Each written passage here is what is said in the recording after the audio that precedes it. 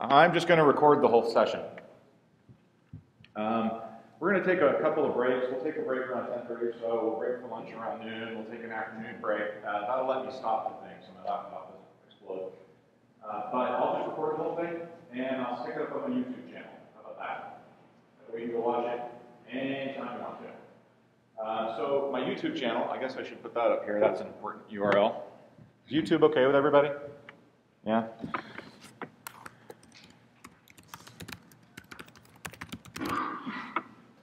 My URL should be something like that.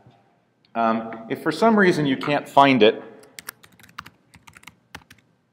ConcentratedDon, uh, just hit me up on Twitter and I can find it for you. YouTube has dumped my account a few times for some reason. So I've had a couple. Uh, if that turns out not to be the right one, then just ping me on Twitter and I'll, I'll hook you up with the right URL. So I'll do that sometime Tuesday. I'll get that uploaded, um, assuming I can get some decent Wi-Fi connectivity. If I can't, then it might be like early next week that I get it uploaded. Cool? Good. So quick bit about, uh, uh, quick bit about me and about what we're going to cover today. My name is Don Jones. I'm a Windows PowerShell MVP award recipient. I write the PowerShell column for Microsoft TechNet Magazine, technetmagazine.com. Free. Might as well read it. Uh, I write the Decision Maker column for Redmond Magazine, so a little bit more of a, a managerial focus, strategic, tactical type stuff. I've been working with Windows PowerShell since since before it came out, so probably 2005-ish. Uh, I happened to be there at its launch. Uh, they officially launched PowerShell version 1 at uh, TechEd Europe over in uh, November 2006 sometime. I've been playing with it ever since. Uh, I've read a bunch of books about Windows PowerShell. There's three on the way. You can find those at PowerShellBooks.com. That's the URL up there. And the first book that I, I did for PowerShell was called Learn Windows PowerShell in a Month of Lunches. And that's what this crash course today is really based on. Uh, the theory with the book is that you read one chapter a day and get your brain kind of time to process things. It's got hands-on labs and everything else in it. Um, I do happen to have a few copies at home. I forgot to bring with me, but if anybody's interested, they're like 30 bucks. I was able to get one clearance from the, the publisher. So if you're interested in one, just come see me sometime. I can bring some back on uh, Wednesday. I've got some sessions Wednesday morning. I'll go drive by the house and grab them. Uh, the other reason I want to point you to PowerShellBooks.com is there's a couple of free ebooks up there that I'm going to be referring to a few times. Uh, there's a few things that we get into, particularly remoting and generating management reports, that just involve a lot of steps. There's a lot of syntax and a lot of steps. So rather than slamming you with all that, expecting you to copy off of the video, uh, the book walks you through step by step by step by step by step with screenshots and everything else. Uh, both of the remoting and the HTML recording, both of those ebooks are free. They're just downloads. You don't have to register. I don't want your email address. There's no log on. It's just a zip file. You download it and you have it. Uh, they're in PDF EPUB form. If you want it in Kindle form, convert yourself. Um, not that that's not useful. It's just a step I don't have time. So you can do whatever you want with those. You can redistribute them. They're licensed under Creative Commons, so go nuts, use them however you want to. Uh, they're meant there for you. The other URL I want to point out is the top one, and that's probably the most important one. That's where you can come if you've got a question about PowerShell. Uh, you're definitely going to run into problems with PowerShell. You're going to get stuck on something. you're out Rather than beating your head against it for too long, hop up there and ask a question. Uh, if I'm on the road doing a show like this one or doing a class on site with a customer, I usually can get back to you in a couple hours. Otherwise, it might be 24 hours because I usually just get to check in evenings. But there's a bunch of other people up there who answer questions too. It is a great place to go get an answer. Uh, we are pretty good about not telling you to just go Google it. Right? We're going to assume you tried that and that you actually need help. Uh, and it's, it's a great place to get answers from a lot of people who are, are real PowerShell enthusiasts that have been using for a long time. Uh, have anybody ever heard of scripting games? Uh, this is something that Microsoft used to run through TechNet. Was a scripting guy uh, who would do these. That's now been turned over to the community. The community's to it because it's just gotten too big for one guy.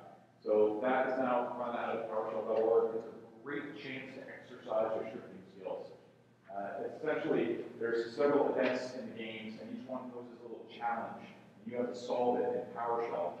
And then it gets voted on by judges, and there's great prizes. You can get a free pass at TechEd, free books software and money and, and prizes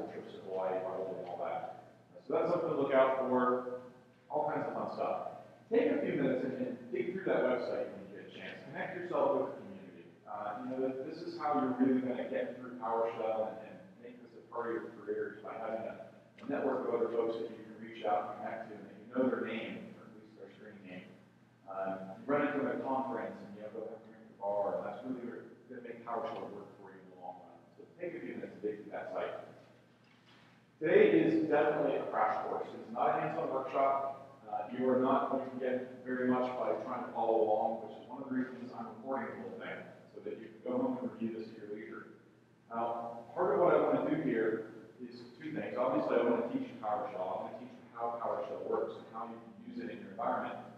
I also need to teach you some of the things you're going to see in the wild. The common things that you're going to see when you're stealing, sorry, repurposing other people's work off the internet.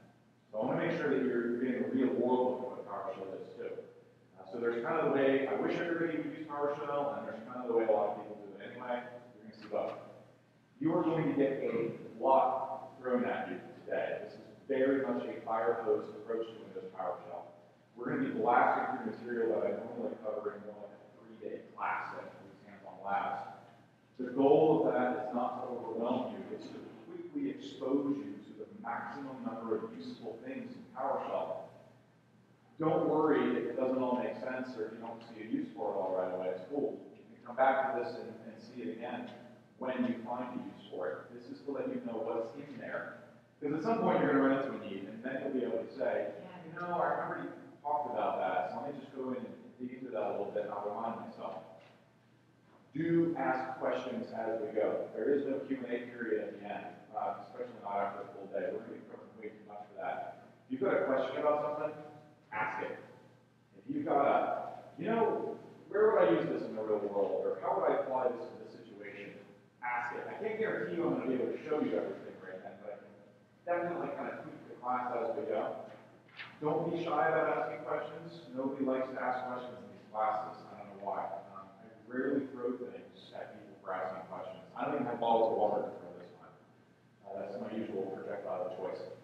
If you've got a question, probably of other people in the room have a similar question. So be the brave one and ask it. And this is a lot more fun that way. Uh, we will break around 10.30. Uh, Siri should wake me up and, and tell me to stop then. We'll break around noon for lunch, maybe a couple minutes earlier so you get a start on that. Uh, I have no idea where it is. Hopefully someone does in your book or whatever. You can figure that out. Then we'll break in the afternoon uh, to give you a little bit of a leg stretch. If you need to get up and wander out in the middle, that's fine. Uh, the only thing I ask is that everybody check all of your squeaky noisy devices right now and make sure they're not going to be noisy. If I have this huge attention thing and an electronic thing goes off, I'm like lasered in on that, and I will answer it. I will walk over and take look and answer it. Uh, and it won't go well. So shut all those stupid little things off, and we're just going to PowerShell. How many of you played with PowerShell a little bit? That's good. Excellent. How many of you are mostly running XP in your environment still on your client? Who's mostly getting into 7? Vista? Anyone do Vista? Okay. Sorry. uh, server side, uh, 2003? Uh, 08? R2? Uh. R2 is awesome. 2012? Any, any, you guys starting to get in there? So let's talk uh, real quick about versions and capabilities. So you've got three versions of PowerShell out there now. One's doing great. Uh, no one should be running version 1 for any reason whatsoever. Unless you've got some weird non-Microsoft piece of software that just took a hard dependency on version 1. All of your machines that have PowerShell should at least be on V2. Now V2 can be installed on everything from XP or Server 2003 and later. Version 3 of PowerShell is the new version that is out. That can be installed on Windows 7, Server 2008, 2008 R2, and it comes with Windows 8 and Server 2012. Version 3 notably cannot be installed on Vista. Sorry. Uh, no backward compatibility for that. However, if you've got a, an environment with mixed PowerShell version 2 and version 3, they can still talk to each other. Uh, they need to be installed side by side. If you have version 2 on a machine and you upgrade to 3, the 2 engine stays there. So if you have a compatibility issue with version 3 of PowerShell, you can always get the version 2 engine up and running. most of the cool stuff in PowerShell is not in PowerShell. Most of the cool stuff you're going to do to manage things, to manage networking adapters, to manage DHCP servers, DNS servers, whatever else. That functionality is provided by snap-ins or modules for PowerShell. But Those are OS specific. In other words, PowerShell can do a lot more to a Server 2012 machine than it can to a 2008 R2 machine. Not so much dependent on the version of PowerShell as it is the version of the OS. What you are buying when you buy Server 2012 is a more manageable operating system. So there's a lot of strong reasons from a perspective of getting all of your machines on the latest and greatest version. Windows 8 has way more management capability by PowerShell than Windows 7, even though both run the same version of PowerShell. So I'm running Windows 8. I have a Windows Server 2012 domain controller floating around in the background. If you've got any question when I do something, hey, would I be able to do that on Windows 7? Just ask me. I'll tell you. Uh, if it's core to PowerShell, yes. If it involves an OS-specific plugin, probably not so much. Uh, that said, there's a lot of, of you know, cross-compatibility too. So if you've got a question about whether it will work or what it will work on, just ask me when I'm showing it to you. I'll be happy to tell you if it's going to go down to an older version or not. Who thinks they're definitely going to be moving from 2012 to their R&D? Eventually, yeah, that's good. Uh, it's a little easier to roll different server version into the data center than it is to, you know, roll the entire client base. I am very much a server guy. I could really not care less about client operating systems. Um, for me, they're just a means to an end. And that end for me is the server. So there might be some client-based management things you asked about I might not know the answer to. Um, if I don't, I will totally make something up for you. Uh, that sounds good. And then I'll try to point you in a direction where you can go find the correct answer for it. Uh, but I'm very much a server guy. Is, is there a central place for the and Is there a central place to get all the modules and snap-ins? That'd be nice. No. No, for the most part, you know, it's, it's, it's the same old deal. It's, it's um, for Server 2012, there's, there's an RSAT, right, a Remote Server Administration Toolkit, and that only installs on Windows 8, but it does install all the Windows Server stuff onto Windows 8, but it won't install on Windows 7. There's a separate Windows 7 RSAT that aligns with 2008 R2, and that's going to be used for a while. But uh, I will kind of show you where Microsoft is going with this idea. How many of you uh, have some restrictions in your data center that as an admin, you kind of have to promote into a jump machine to get into the data center, and then you can go off the servers from there. Yeah, that's a fairly common setup, especially in highly restricted environments. I work with a lot of financial companies, and they do that a lot. Uh, is that your industry? What's, what do you do? For GoDaddy. Oh, yeah, well, also a highly managed environment. Uh, Microsoft is, is kind of a big fan of the whole jump server idea, and I'm going to show you how you can probably set things up so you never have to install management tools on your client machine, uh, which is even better. One of the features of Server 2012, in fact, is PowerShell Web Access, which is a, a web version of PowerShell. So you, you browse into it, and then you get PowerShell, and it can hit all machines in your data center. Uh, it looks good on an iPhone, although, you know, command line interface on iPhone is less awesome than it might be, but hey, it works. So, okay, let's jump in. Um, I am going to be using, for pretty much this whole session, uh, this is the PowerShell ISE integrated scripting environment. Uh, it consists of two panes. That pane you were seeing there was the script pane where, where you would write scripts. Uh, this is the console pane where I'm just going to type commands, hit enter, and they're going to work, hopefully. Um, there is a console app as well, which exhibits a lot of the same behaviors as this console pane. They are a little different. There are some different behaviors. One of the things you can do in the console app that won't work here is run a transcript. There's a command called start transcript, and it'll capture everything that flies by in the window into a text file, which can be really convenient. If I wasn't videotaping this, I would be running a transcript for you. Um, but you can't do that in here. What I like about this, though, is the little what do they call this? IntelliSense? Right? So you never have to finish typing all your commands. You can just kind of pick it from the list and it'll also help you figure out what parameters are available for commands and everything else. So it's one of the reasons I like to use this thing. It's a pretty slick little little tool. This is version three, right? This is PowerShell version 3, yeah. Yeah, because it's on Windows 8, which is all that will run on, on Windows 8. Uh, you can't put version 2 on this. So let's just talk real briefly about, you know, kind of what PowerShell's approach is. How many of you have some VB script experience or maybe Perl or some other wacky language? Yeah? And, and you've kind of gotten the, the message that PowerShell is the, the scripting language successor to VB script? Yeah? No, it's not. I really wish people would stop telling you that.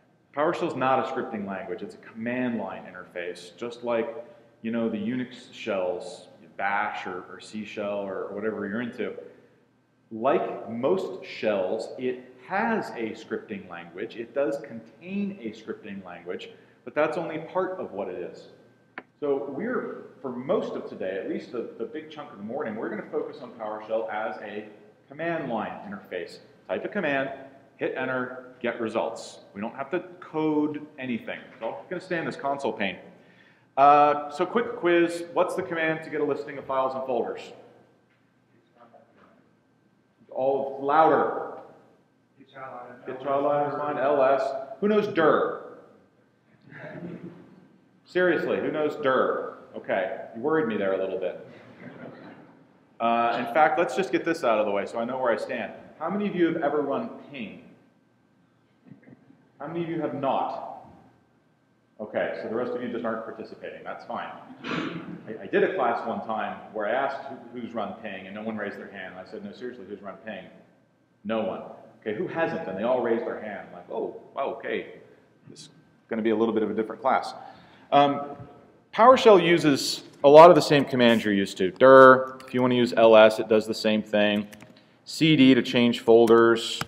Uh, just like in the shells you're probably used to, if you've got a value that has a space in it, like program files, you do need to put it in quotation marks. So you're going to be able to jump in and do a lot of the stuff that you're already used to pretty well. These commands that I'm using right now, like dir, is uh, really just an alias. It's a nickname for what PowerShell really calls get child item. And that's going to take me to the most important thing in PowerShell, is the help command. How many of you go back to NT4? Oh, good, quite a few of you. So, in your head, go back to NT4, and then fast forward just a couple of years until Windows 2000 came out, right? Because that's where we got Active Directory and everything else. Think about the first thing you did when you opened Active Directory users and computers for the very first time. What was the first thing you did? Other than like click on something and hit delete to see what would happen. Bad idea, by the way. What'd you do?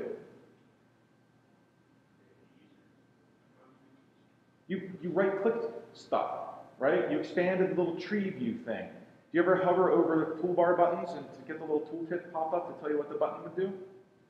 Those things, the, the tooltips, the context menus, those are called discoverability features, and they're one of the reasons that a GUI is so great, because you can figure out what you can do without actually having to do anything potentially destructive, and without doing the one thing that we IT professionals hate above all other things, reading manuals.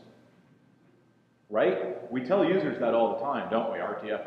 Right? Everybody knows what RTFM stands for? Yeah, the F isn't for friendly. uh, the first PowerShell book I wrote was called Windows PowerShell TFM. Right? You got it?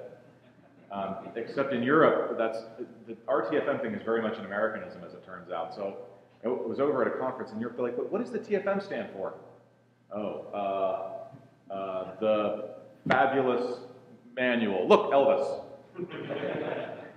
uh, PowerShell, being a command line interface, doesn't have a lot of, of toolbars or right clicks or anything else that you can play with. But it still has a discoverability feature. It still gives you the ability to figure out what it can do. And it's this help command. So when I run help on dir, it's going to show me that this is actually a command called get dash child item. It's going to show me the syntax for the command, which we're going to talk about in a little bit. Give me a nice description for the command, everything else. Who knows what the wildcard character is? Asterisk, yeah, star, splat, whatever you want to call it. Don't call it splat, that means something different in PowerShell, and you'll confuse the other PowerShell kids if you say splat. Uh, so star, asterisk is fine. If you want to do something with event logs, take a short little keyword. Now, this isn't a Google search, it's just a, a text matching search, just a wildcard match. Throw that little keyword in between a couple of asterisks and hit enter and it will list the commands that match that. If it doesn't find any commands that match that, it will do a full text search across the synopsis and description for every single command that it can find on your system. So this is a good way to find stuff. Now, in this case, if I wanted to play around with event logs, I, uh, the first one, clear event log, get event log, and right away you can start to get some idea of what commands are available to you. This is a great feature. Now, one of the biggest differences between PowerShell version 2 and PowerShell version 3, and one of the big reasons you should really put PowerShell version 3 on your computer, is in version 2, it would only do this across commands that you had manually loaded into memory first. So you see the catch 22 there. I'll show you what commands if you tell me which one it is you want. I don't know. But as soon as you do, I'll help you find it.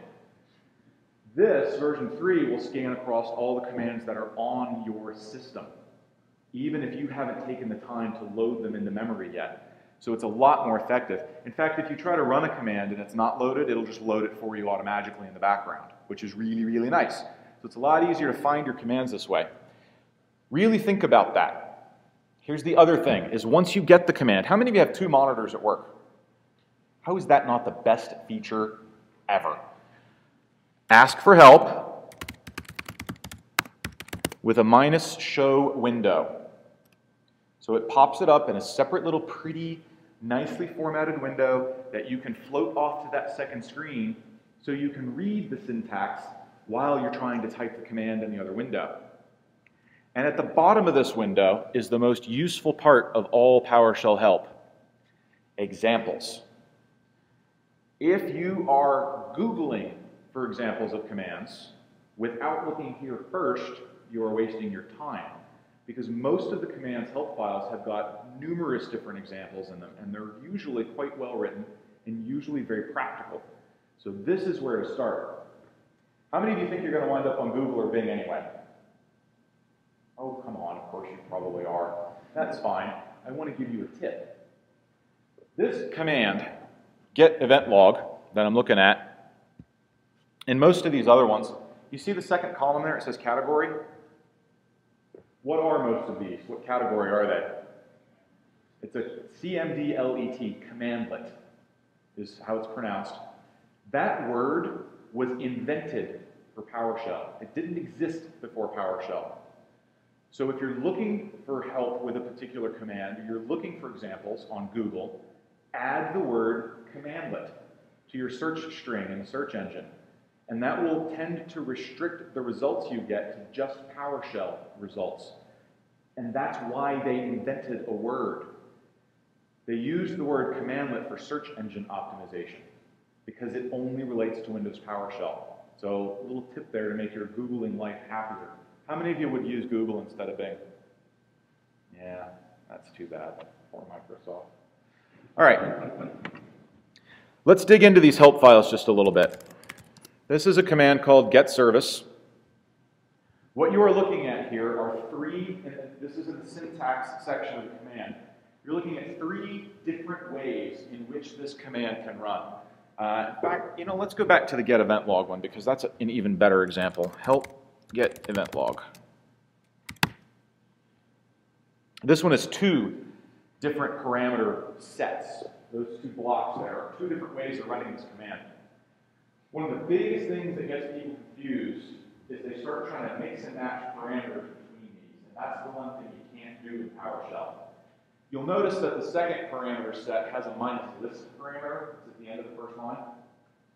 And that the first parameter set does not have a minus list parameter. That's the big difference between them. If you are using minus list, the only other commands you can use are computer name and as string.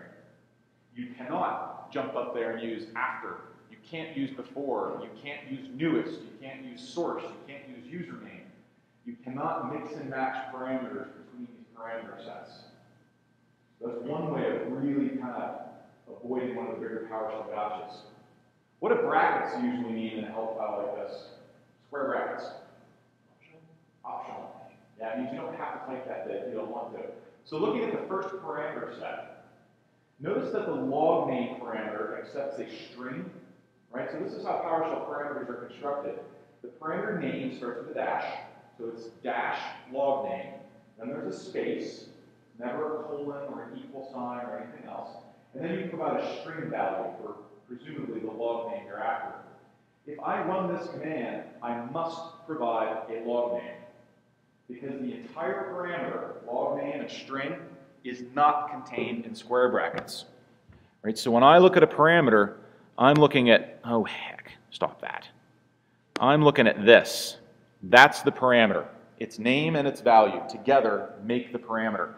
That is not in square brackets. That means it's mandatory. I have to do this if, I'm, uh, if I want to run the command successfully. What I do not have to do is actually type minus log name, which gives you a few ways of potentially running the command. Get event log minus log name security newest 10. That's one way to do it. Another way is to just provide that value, security, in the first position because the minus log name part is the optional part. However, once you stop typing out the parameter name, it's up to you to make sure everything comes in the correct order. So now you're taking something on yourself, and if it doesn't work, it's your fault. It'll work if you get everything in the right order. But what you don't want to do is start messing around with it and getting it in the wrong order. Who thinks that'll work? Yeah, not at all.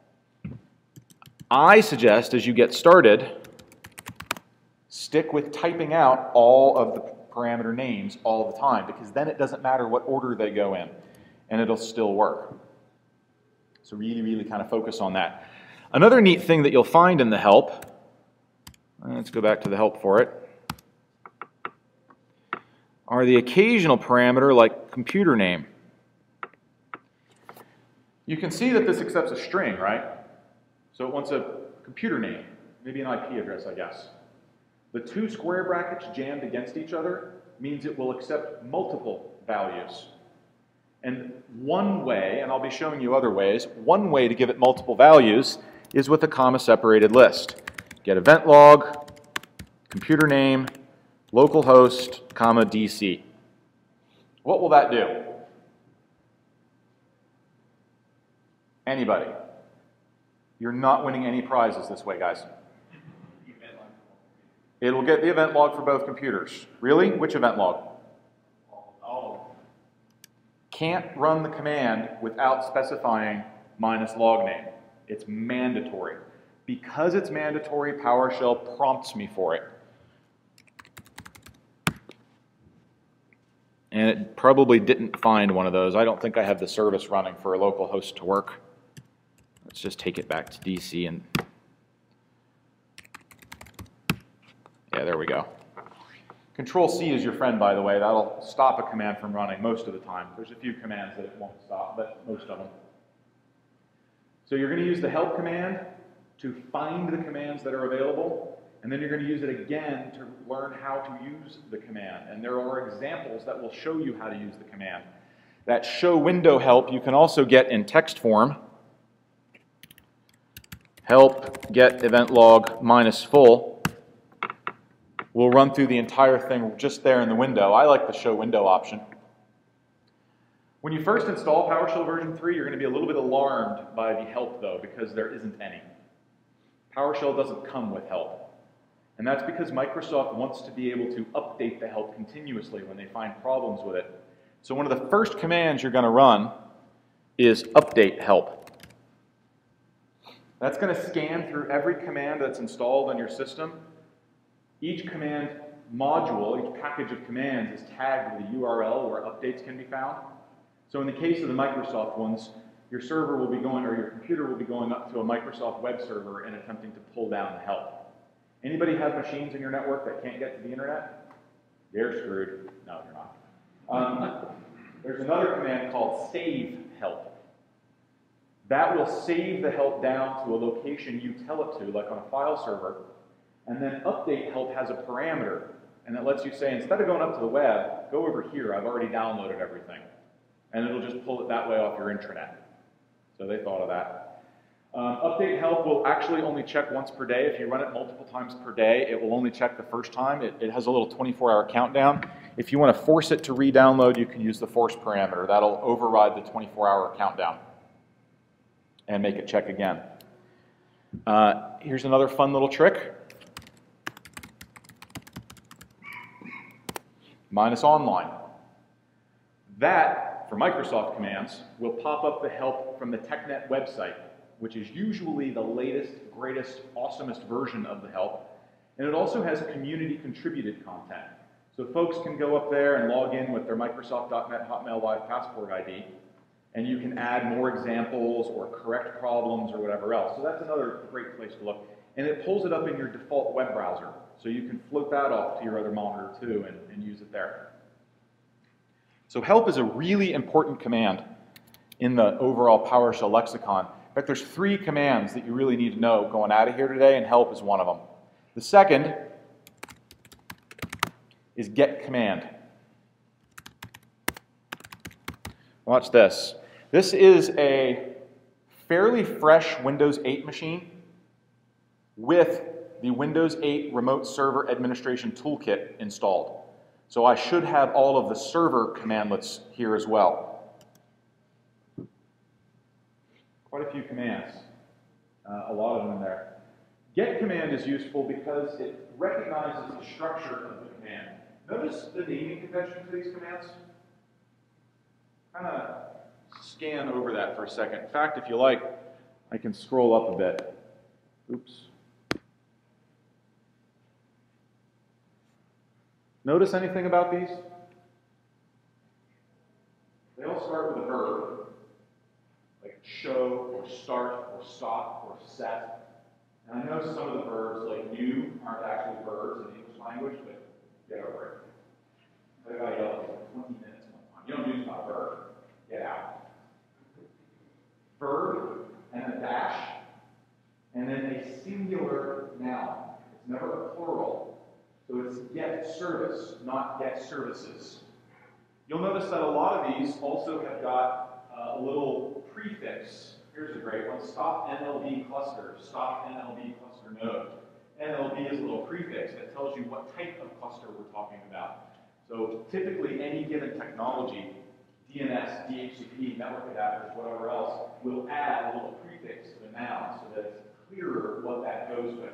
The only exception to that in the Microsoft world is Exchange Server. So what do you think the command is to retrieve a Probably, how many of you use Exchange, 2007 or 2010? Yeah, so what's the command to get a list of mailboxes? You had it. Get mailbox. Not a trick question. It probably should be like get EX mailbox, right? Because there's other mailboxes in the universe. But they didn't think of that whole noun prefix thing until after the ship exchange. So that's just how it is now. Uh, that means the four Lotus Notes guys can never come to PowerShell because we've taken mailbox. I'm sure that's going to happen eventually. But now it can't. Uh, so verb dash noun. And one of the reasons that get command is kind of cool Show me all the commands that use the word event in their noun. So it's another way of finding commands on your system. There's parameters that will let you find the commands with a particular parameter. So show me all the commands that have a computer name parameter, things that can talk to other computers. Show me everything, there's also a minus verb. So show me all the commands that use the word new as their verb. Those are all the things PowerShell can create new of.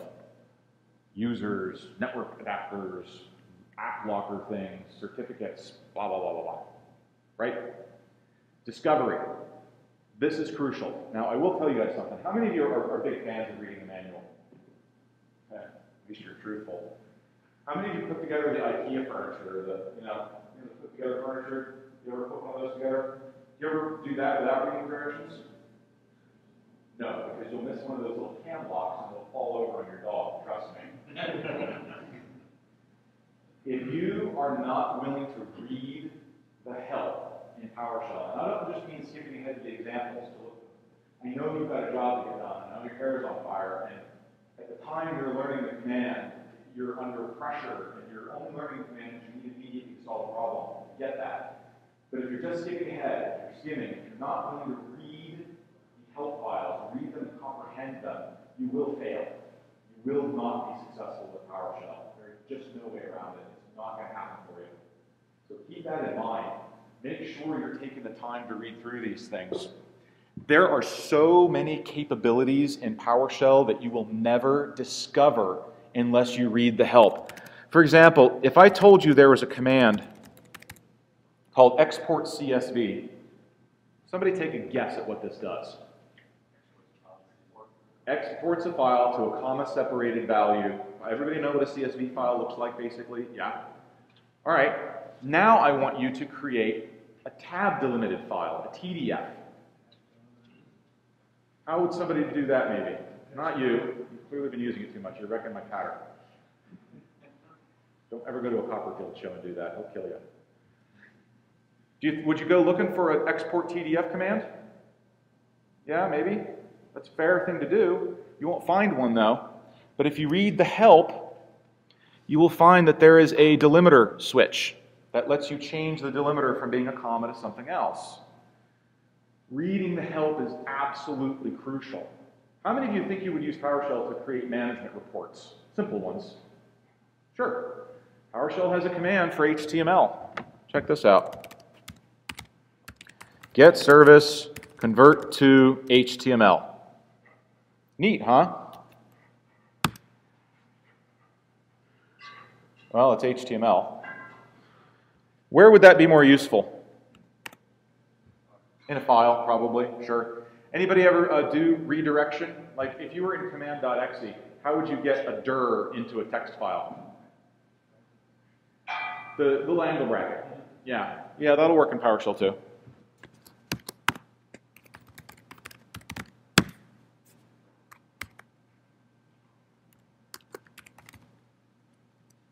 Here's what that looks like. Not awesome. What if you wanted to put some more stuff in there, like a header, or maybe a footer with the date it was created, or, or maybe, heaven help you, make it look prettier? Would that be interesting? Well, you can do it if you read the help.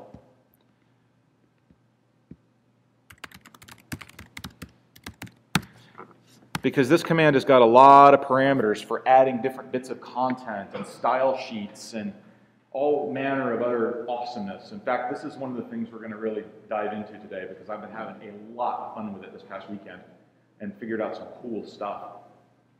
My point, though, is be prepared to read the help files. I am not going to be able to show you every single command. There's more than 2,000 commands installed on my system right now. And even the ones I do show you, I'm not going to be able to show you all their capabilities. But if you can take a minute to just scan through the help files, how many of you have a page a day calendar? Far Side or Dilbert or whatever, throw it out. Read the help for a commandlet a day. There's only a couple thousand. So what's that, like five years? Think of the money you'll save on page day calendars. But if you can just skim the help on these things and start to pick up some of the other capabilities they've got, then when you actually need that capability, you'll remember and you'll be able to go look for it using the help command. Sensible? The thing that sets PowerShell aside from other shells is how it deals with data that it has in its head. Uh, let's take this as an example. Let's run get service real quick. How many columns of information do I have here?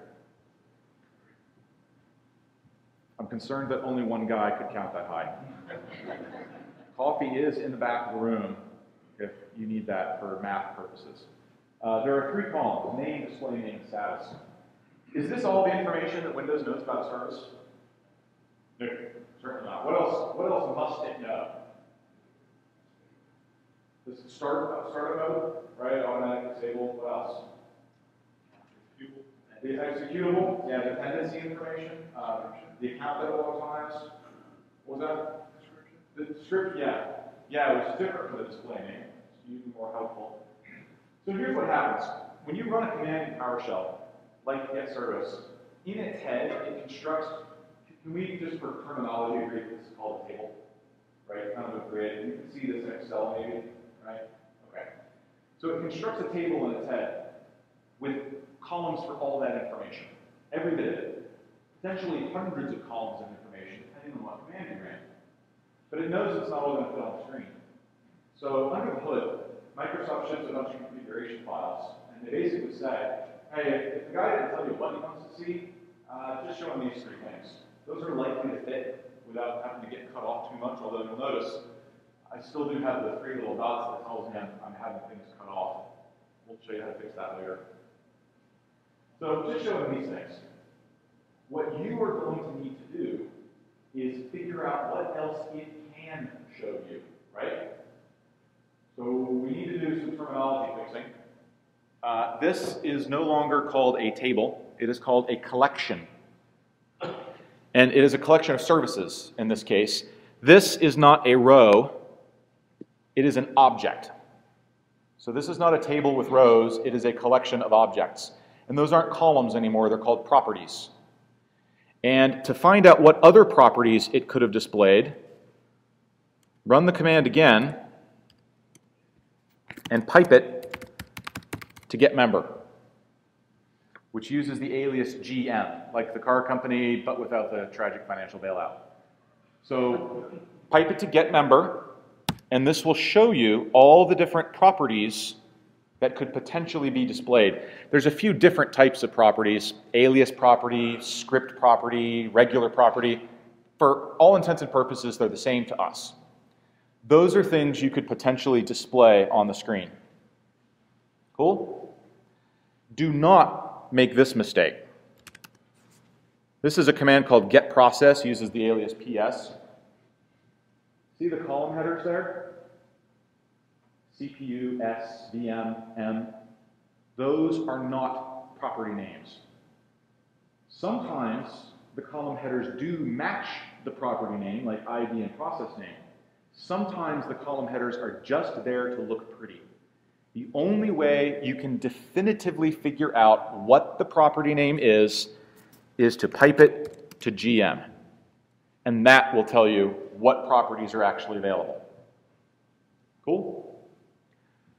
So PowerShell doesn't start deleting columns until it's done running all the commands that you give it and it's ready to display something. Uh, let's do a little, little quiz here. I want to find, and you guys are going to help me with this, so you're going to have to talk. I know it's scary. I want to find the 10 biggest processes based on their paged memory usage, or PM. So there's a property for that, right? There was a column for it. There it is, PM. See, it's the third column. So what are the 10 biggest processes? This is taking too long. What would, what would help? Let's sort them. I'm going to pipe this to a command called sort object. The deal with PowerShell is it keeps that entire table structure and oh. passes it from one command to the next. You've all done like dir pipe more before to get a paged output of a directory, yeah? Jiggle your heads up and down. Good. This is the same idea. We're taking that, that table structure and piping it to sort object. Which property do I want to sort on? I want to sort it on PM. So we'll hit enter. Probably a little bit easier to pick out the top 10 now. Let's make it more like a Letterman top 10 though. I'll hit up arrow and add the descending switch. So the default order is ascending, descending flips it around. All right, can you see the top 10 now? No, why not? Because it scrolled up too far. Yeah, let's pipe it to another command called select object and ask it to just give me the first 10. So again, PowerShell keeps that entire data structure and passes it from one command to the next command to the next command And when it finally gets all the way to the end of the pipeline, which is what this is called, it does whatever it needs to do to display the output. And we're going to work on customizing that output display a little bit too. The pipeline is what makes PowerShell. Unix shells have a pipeline as well, but they don't operate in quite the same fashion. Uh, they tend to rely on text manipulation. I'm not going to sort on the column named PM. I want you to tell me what character position I have to go out to, or give me a regular expression, and I'll grep it and sed it and awk it and blah. Which is fine for Unix, because that's how it works, but this is how PowerShell works. This is how Windows works. You don't need to worry about what the output looks like until you get all the way to the end and you're ready to look at it. It's just this data structure that gets passed from machine to uh, command to command. And I want to point out something else too. I didn't write a big script here. I ran a command. I wasn't happy with it, so I hit the up arrow, brought it back, added a little bit to it, and ran it again. I kept doing that over and over until I was happy, one step at a time. You don't need to start out by constructing these things out of whole cloth. You know, I mean, pulling an entire thing out of the air is, is tough. You'll get there, in the beginning, do it one bit at a time, and up arrow, modify, up arrow, modify. It's iterative, and it goes pretty quickly, as you saw.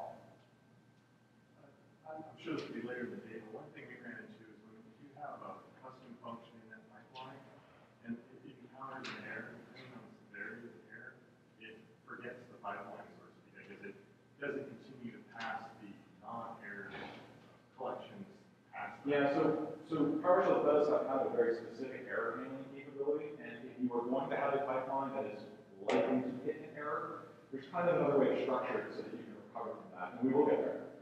Yeah, we will do that, probably. Depends on how you guys act after lunch.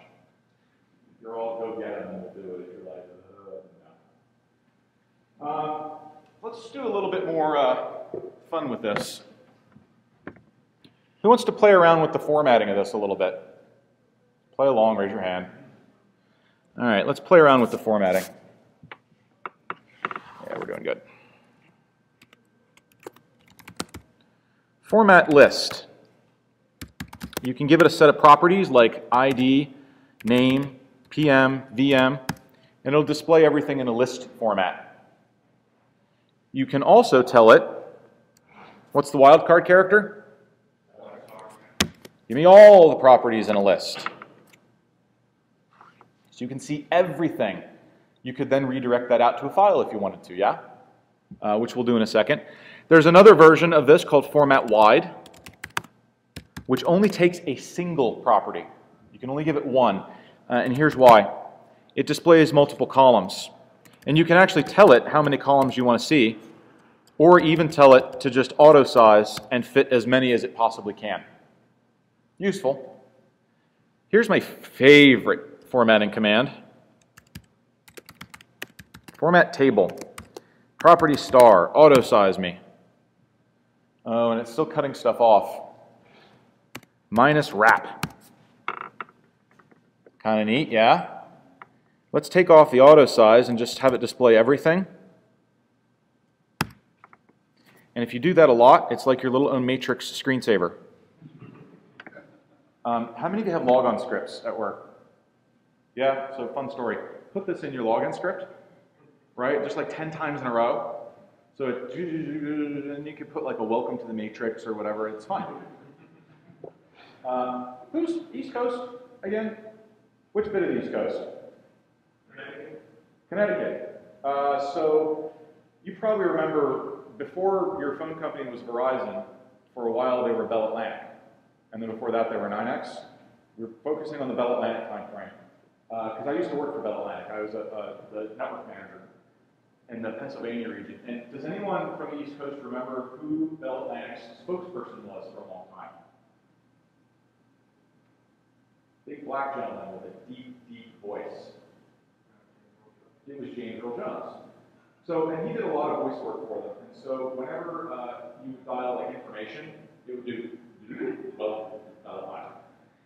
And we thought, what cooler thing in the world could you do get a WAV file back, which required a lot of calls from directory assistance. But we got a WAV file of it and stick it at the top of the log insert in the morning, right? So everybody logged on. And we thought the only thing that could be cooler than that is what else did James Earl Jones do the voice for? So it's possible that our wave file set will develop back the dog side of the force. Now, uh, in our defense, we were missing a couple of crucial bits. Uh, our CEO was one of these guys who had his admin print his emails, and then he would scribble a response, and then she would send us, right? Uh, and we were a telecommunications company. Hold on that. Um, explains a lot about Verizon these days, actually. So, given the fact that's how he handled his email, we didn't realize that he had a computer or that it had speakers. Uh, and in fact, he did, it did. And so the next morning, he came boiling down out of the Eiffel Tower, screaming something about Star Wars and the Force and hatred, vitriol, spew. Um, we told them that we could get that virus off the system pretty quickly, and, and uh, it wouldn't infect anything else after that. Uh, so nature screensaver, probably better bet for the on script than Darth Vader. Yeah. This format command comes with a price. And this is probably one of the biggest things I, I, see newcomers to PowerShell struggle with. Because you, you go through all this garbage, you, you've worked up this big command, you've got it looking exactly, exactly the way you want it to look. And the most natural thing in the world is to want to put that into a file. Because we talked about creating reports, right? So who could see yourself constructing some big long thing and then putting it into maybe an HTML file? Yeah? All right, well, I already showed you the command. What was it? Convert to HTML. And rather than using the angle bracket for redirection, I'm going to show you what PowerShell is really doing under the hood, and it's piping that to out file. And then I'm going to give it the file path, and we'll call this report.html. Boom. Let's take a look at that puppy. That what you expected? Yeah, that's my list of processes, right? No. PowerShell format commands consume whatever you pipe into them. And what they output is a bunch of Microsoft PowerShell internal formatting spew. So the practical upshot of this the only thing you can do after a format command is pipe it directly to a file or to a printer or just let it show up on the screen. That's it. Once you have formatted something, you are done. Anytime you're looking at a command line and it says format something, and then right after the format comes pretty much any other command that doesn't start with the word out, it's wrong. It's not going to work. Once you've formatted it, you can't convert it, you can't export it, you can't do anything with it.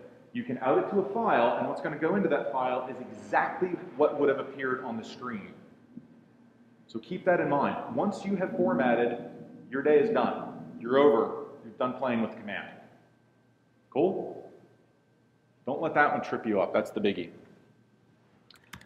Let's do this. Uh, get WMI object. We're going to talk about WMI in a little bit, but I want to kind of jump into it right now. And I'm just going to pick out my local drive, which is drive type 3. What unit of measurement does free space and size look to be in? Yeah, bytes. How many of you deal with bytes in your storage systems? Yeah. If you're down to bytes, you got a problem. What do, what do you usually want to see that in? Gig, gigabytes uh, on a, on a SAN or something, terabytes is probably fair, but gigabytes at least, maybe megabytes for free space. Well, all right, let's play with it then. I'm going to run that same command again, and I'm going to pipe it to select object again. You could do this same trick with format table, but in a second I'm going to show you why I chose to use this instead of format table. Property. Let's grab the device ID. Actually, you know what I'm going to do for you? I'm going to make this prettier. Clipboard.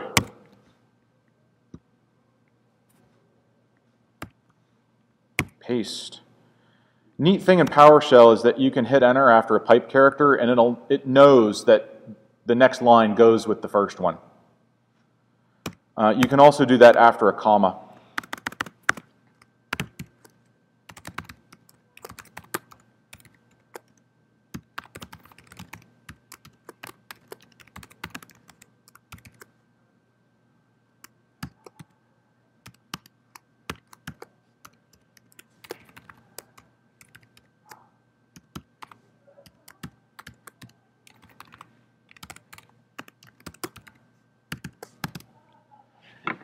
That structure that starts with an at sign is called a hash table. Um, programmers will also call it a dictionary object or an associative array. And we're building a very specific one that's designed to work with the select object command or one of the format commands. There's a very specific way they want this thing to be constructed. Each one of those hash tables consists of two parts, two units, and they're separated by a semicolon. Everyone see that? The first has to be called name or N, or if for historic reasons, it can also be called label or L. I do not like using the lowercase l. Like you saw, I used N as an abbreviation the second time, right? I do not like using the lowercase l. Someone tell me why. It looks like the number one. I cannot tell you how many times I've had tech editors on my books scream at me that this code doesn't work because they're typing a one instead of an L. So I tried to just erase that from my memory name or n, and that's what I want my new column to be called. Then the semicolon.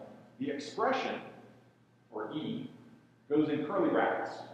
And this is executable code, so it's a formula.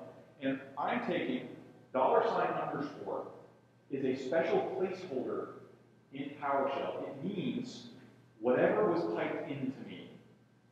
So the first command that ran here retrieved information about logical disks, right? That's what got typed into select object. And so that's what dollar sign underscore represents. It represents the logical disk in this case.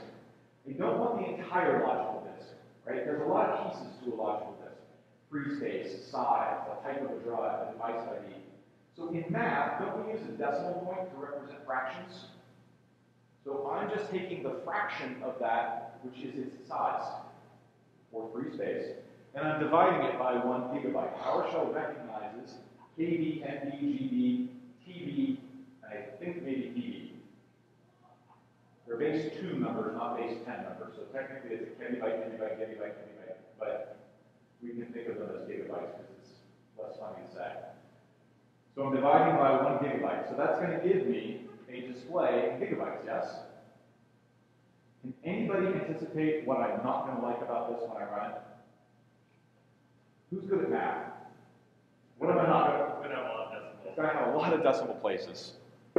So let's run it. It's gonna have an error. It'll have an error. And you have a bracket up there instead of the equal sign. Oh, that's just because my keyboard is tiny, tiny. Let's try running it. Yeah, lots of decimal places. Two ways to fix that. Who wants to see the easy way? Who wants to see the hard way? Really? That never happens. I'm going to tell PowerShell to turn this into an integer, which means stripping off the decimal portion, right? Integers are whole numbers. In doing so, it will actually follow rounding rules. So it will round it up or down depending on if it's 0.4 or 0.5. Uh, so that's the easy way. Can't believe some actually asked for the hard way.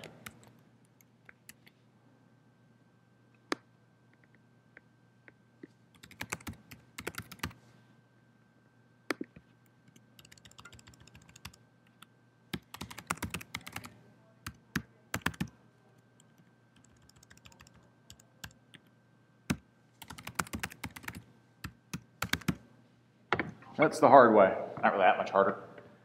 Because format commands are specifically designed to create a visual display, format table, which uses the same syntax, extends the syntax to include a couple of other options.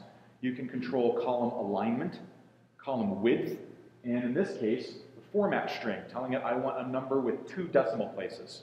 So I'm actually doing better than just making it a whole number. I'm, and still have some decimalage, just not as much as before. So let's run this one first. Neat thing in the ISE, uh, you can right click and run just the highlighted bit or just hit F8 to run the selection. So there we go. Whole numbers. And now let's run this one and see what's different. And I get my little decimal placeage. Cool trick? You can get really, really creative with that. Uh, here's another fun trick. How many of you can see yourselves writing a script whose ultimate output needs to be displayed to a less than technically proficient user, like your boss or anyone you work with? Okay.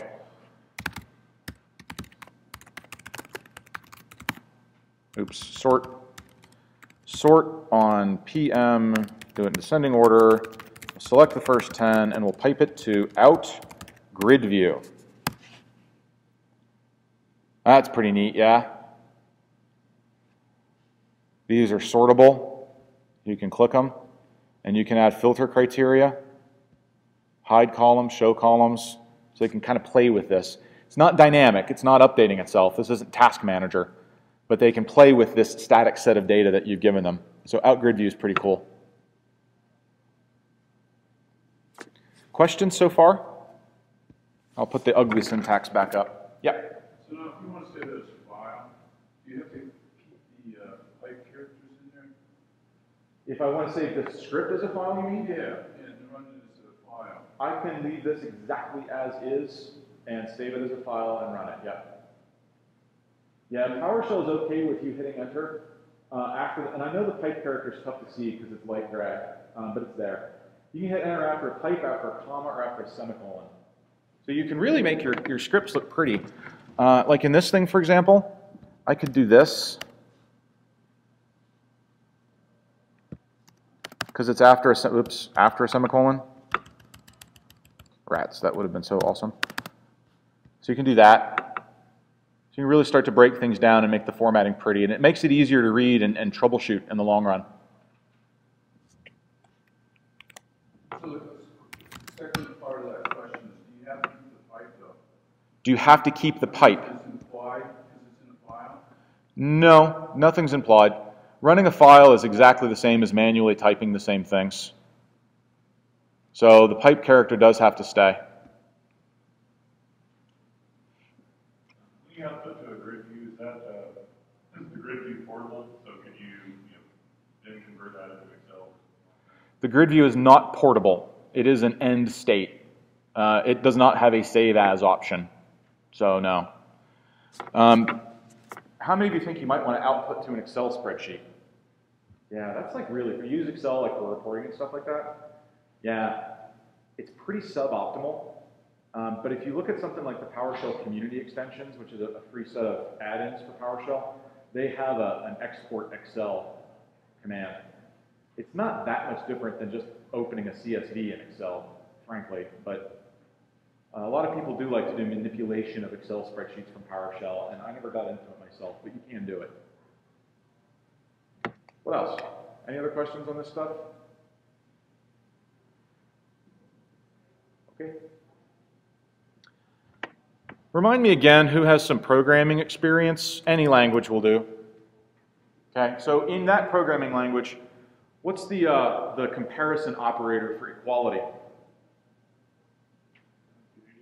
Equal sign, or sometimes a double equal sign.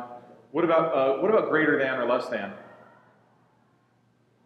The angle brackets, right? Here's the thing. Does that mean redirect the command to dir.txt, or does it mean dir is greater than dir.txt? It means redirect, and in order to give us that character as a redirect, we can't use it as a comparison operator. So PowerShell has a whole separate set of uh, comparison operators. So if you do have some programming experience, just reach into your head and delete it. Get rid of it completely. It's useless now.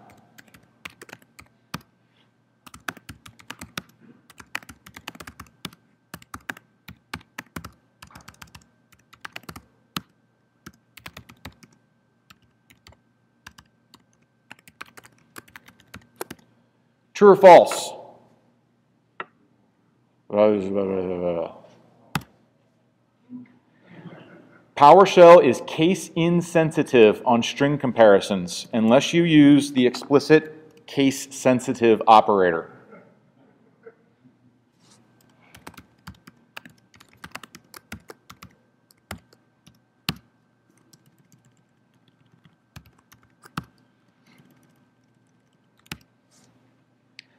Minus like operator lets you use wildcards on the second operand.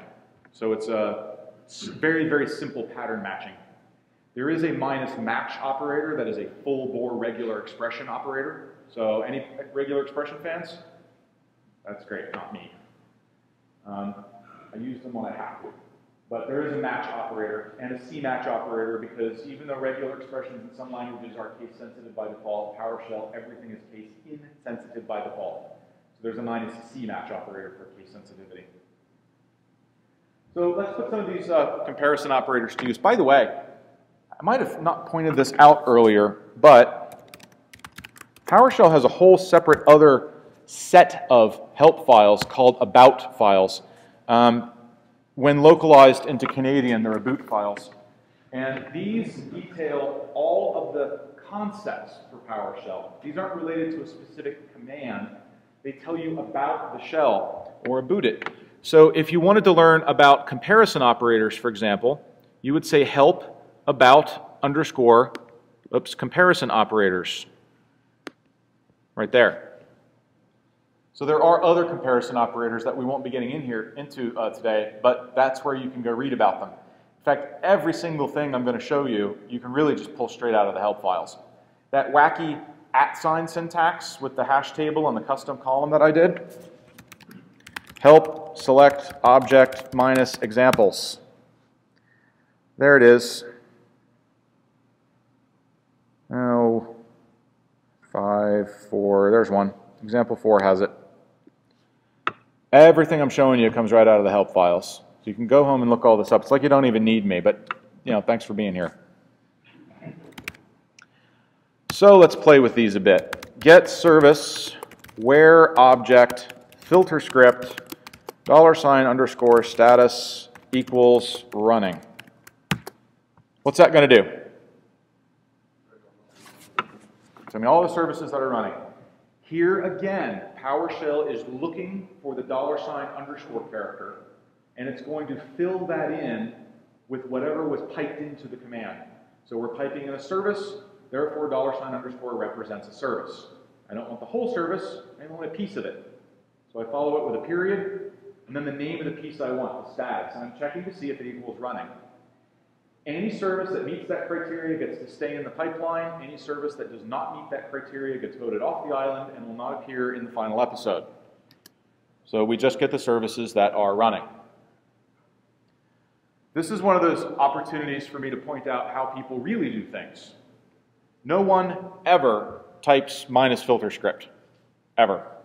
It is a positional parameter. So long as it appears in the first position, it'll work. And so this is what you'll see. Actually, that's probably what you'll see. There's an alias where that goes to where actually that's probably what you'll see. The question mark is actually an alias to where object. That's a lot harder to read, right? It's good for job security. Um, my suggestion to most of my customers is that if you're just banging away at the command line and you want to use short aliases like this, it's fine. Save yourself some typing. You're a little finger sharp. Uh, but if you're going to stick it in a script file and make it permanent and inflict it on other people, spell it out. And it's not that hard. W tab. The tab, right? If you type it correctly. Tab completion will finish the typing for you. It does not need to be a big stressful thing. How many of you are excellent typists? Me neither. But tab completion, you notice that tab is a very large key on your keyboard, so it's very easy to reach out and strike it with your pinky. So use tab completion, spell everything out. Now, PowerShell version 3, in an effort to either make this easier to use or simply to make you have to memorize more things, PowerShell 3 has an alternate syntax, which looks like this.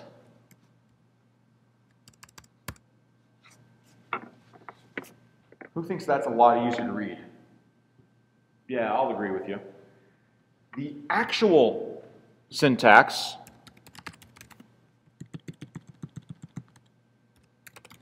looks something like that. But you're meant to type it just where status equals running. Here's the problem. If I do it this way,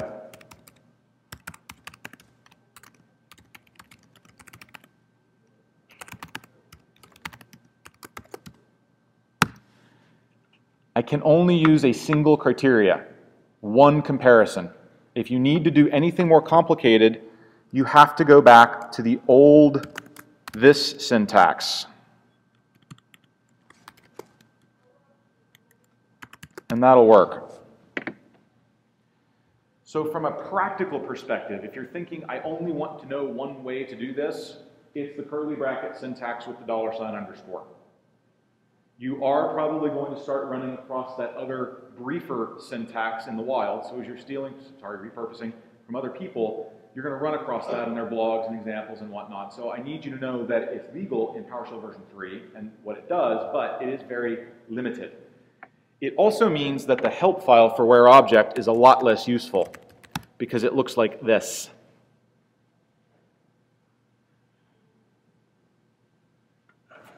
Because they've essentially had to create a parameter set for every single possible operator.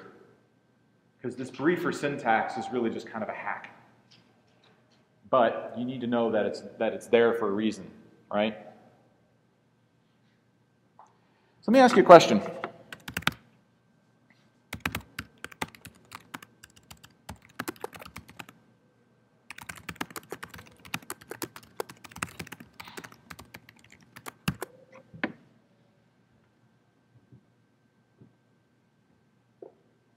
Someone tell me why that's a bad idea.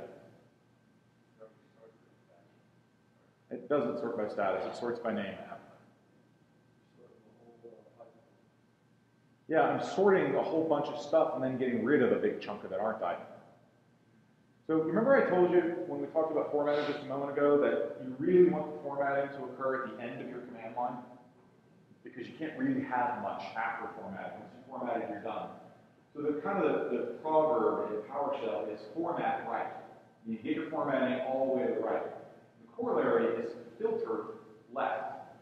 If you're going to be filtering things out of the pipeline, get that done soon, as early as possible, as close to the left side or the beginning of the command line as possible.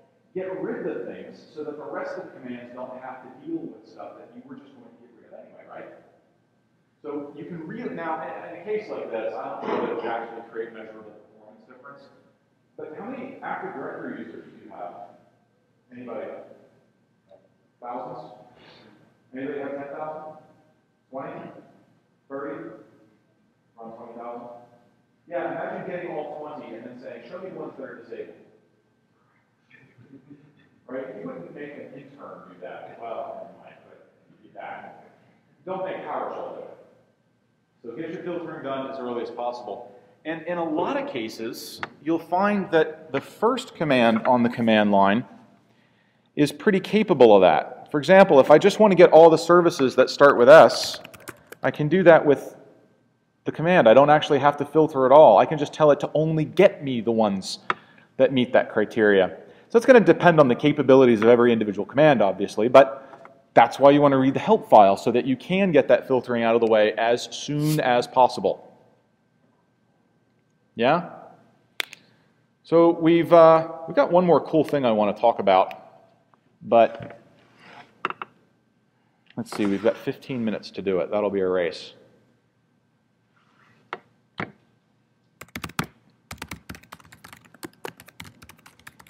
What will that do? Yeah, it'll probably blue screen my computer at some point. Usually it'll get down to like the local security authority and blah. Uh, would you say that the stop service command modifies the system state? Yeah. Yeah. when PowerShell, any command that modifies the system state is supposed to support a parameter called what if. That's what I would have done. And it is supposed to support confirm. Are you sure? No, no, no to all. Stop. Yeah, I actually did not hit no to all. I hit yes to all. Whew. And then I hit Control C just in time. Uh, I want to talk about why that did what it did. And this is where you're going to need some note paper in front of you. This is the magic of PowerShell.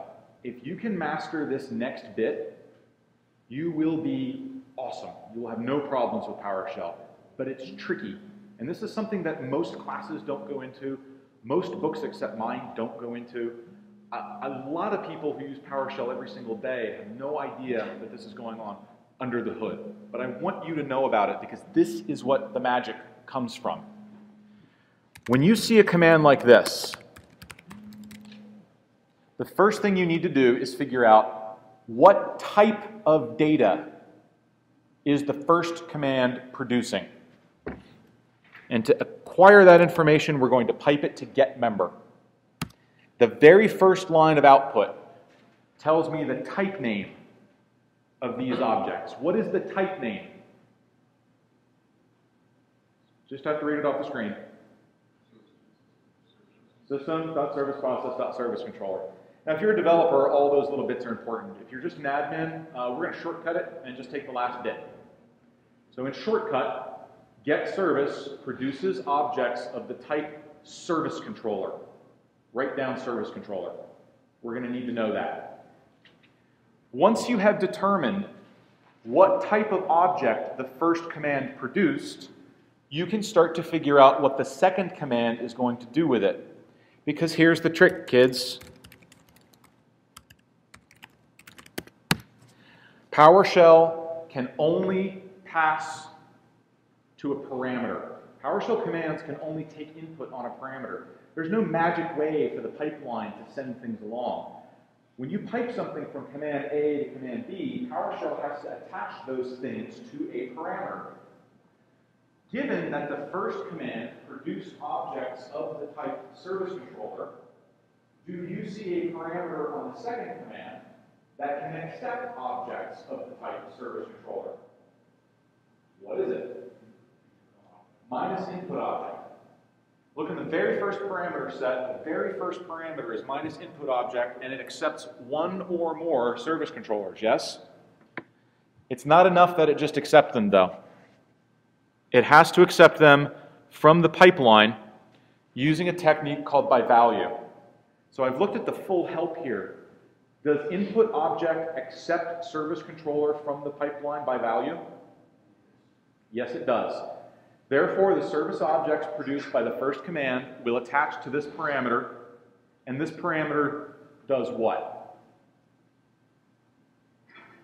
Specifies it tells it what services to stop. So first command runs, puts a bunch of services into the pipeline. They get hooked up to this parameter because it's by value. PowerShell always tries that first. And then this parameter is what makes those services get stopped. Agreed? Sometimes by value doesn't work out.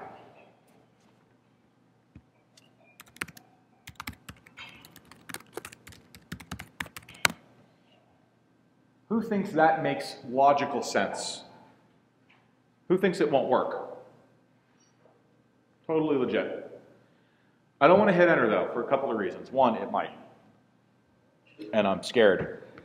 Um, I want to talk about what it did. So, what type of object does get service produce? Service controller. We're going to look at the help for the second command. Do you see a parameter that accepts a service controller?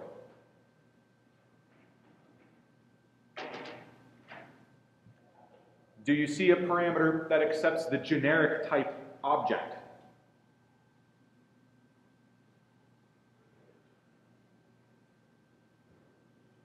No? Then the whole by value plan is dead. PowerShell now has to shift into backup mode which is called by property name. So we need to look at every single parameter in this list and find the ones that accept pipeline input by property name. Holler when you see one. Write down ID.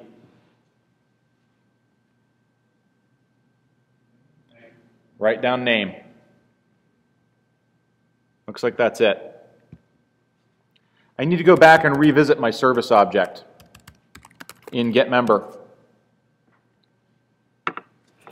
Do you see an ID property? Nope, then scratch that one out. Do you see a name property? Ah. Then, and don't overthink this because this is so low tech that sometimes we have trouble accepting how low tech it is. Because the minus name parameter is spelled N-A-M-E, and because the name property is spelled N-A-M-E, because they are spelled the same, they get connected. So all of the name values will be fed to the name parameter. Meaning,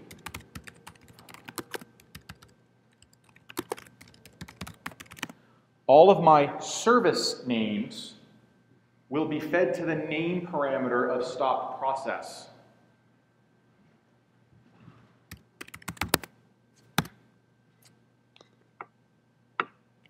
I'll sometimes get a hit. We, it's like reading my old English class essays. Red ink everywhere. Nope, didn't get a hit this time. You can see what's happening though is the service name is Ike EXT, but that's not the executable it runs as, and that's what the process would try and stop. On a server, you will get hits here. On a server, you'll often have like DNS, which is the name of a service, and it happens to run as DNS.exe, so there's a match, and it would have stopped it. But that's what by property name does. It picks up the matching property names and hooks them up to the matching parameters, just because they're spelled the same. Would you like to see a case of this being used effectively for something useful? Yes? Good. Go uh, take a break. Take, uh, take 10. We'll come back at 10.32. I'm going to rotate recordings, and then I'll show you how this thing really works.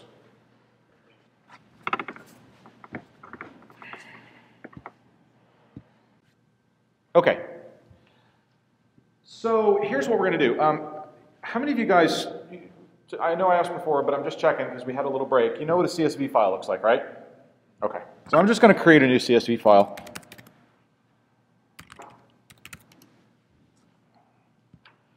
Um, wow, that seems like an excessively large font.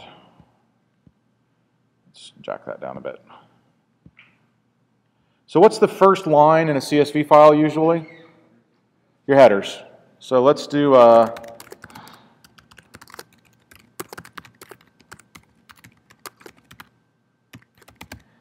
What do those look like to you?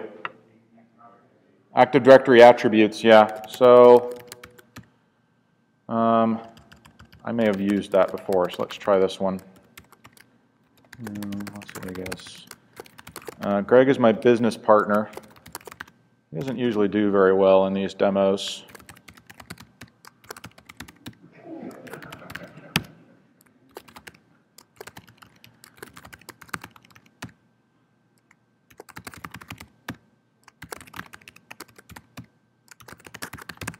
Chris writes the checks, so he usually gets off okay. Let's save that. Command called import CSV. What this does is it scans through the entire file, and unlike the type command, which is get content, this isn't just reading the text, it's actually parsing it. So each data line becomes an object. So I have three objects here, and my column headers get interpreted as properties. So it creates properties for each of these, about what, five properties each? Yeah. Uh, my plan is to use it with this command, new AD user. Uh, this is loading up the Active Directory module in the background, and you'll notice that this has a few parameters. And if you just kind of let your eyes focus on them for a second, you'll notice that most of these parameters really kind of correspond to what you would see in the GUI for Active Directory, right? City, department, title. And if you scroll down and look at the full help, let's get down into the dirt here.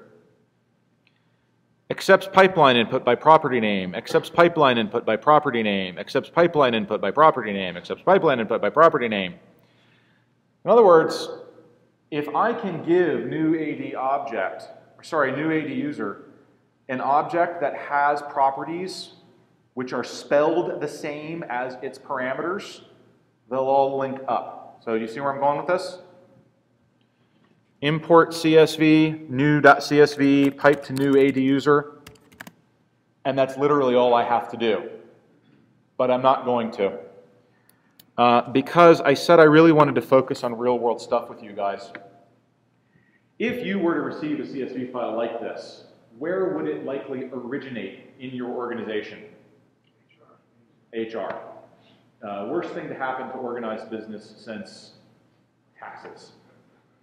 Uh, are they going to get it right? No, because they're HR. They're going to look at it and go, oh, there's no one here named Sam. Silly. We'll just call it, we'll call it login. Stupid IT people. What do they know? Uh, and so now, when I run my import CSV somewhere, I don't have a SAM account name property anymore. Can you create a new Active Directory user with no SAM account name? Yes, you can. Once, because it's unique the first time.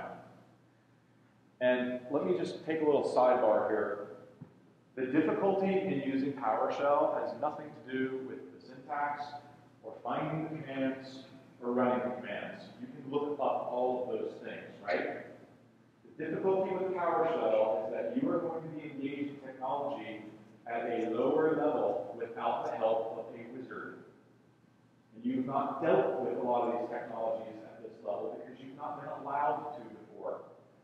The GUI won't let you create a blank SAM account name on a user because the GUI knows it's a stupid idea.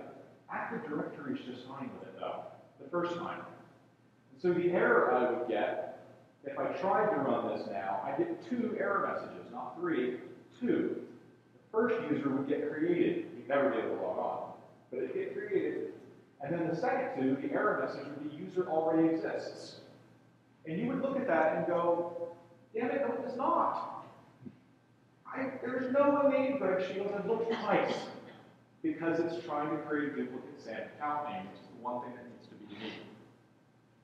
The moral of the story is, as you start using PowerShell, most of the hurdles you're going to run into will have more to do with understanding the technology than to do with PowerShell itself. On the plus side, once you conquer those hurdles, you will be a better administrator, period. You will be better at planning, at architecting, at performance tuning, at troubleshooting, and at administering, because you will know really well what's going on under the hood, because you will have had to find out. It is worth the time to overcome these little hurdles, because it will make you a better human being in the long run. But in the meantime, I need to fix this problem. Now, I guess one solution here would be to open up the CSV file and edit it. Yes? That sounds like work, though, and I'm not a big fan of work. So here's what I'm going to do instead.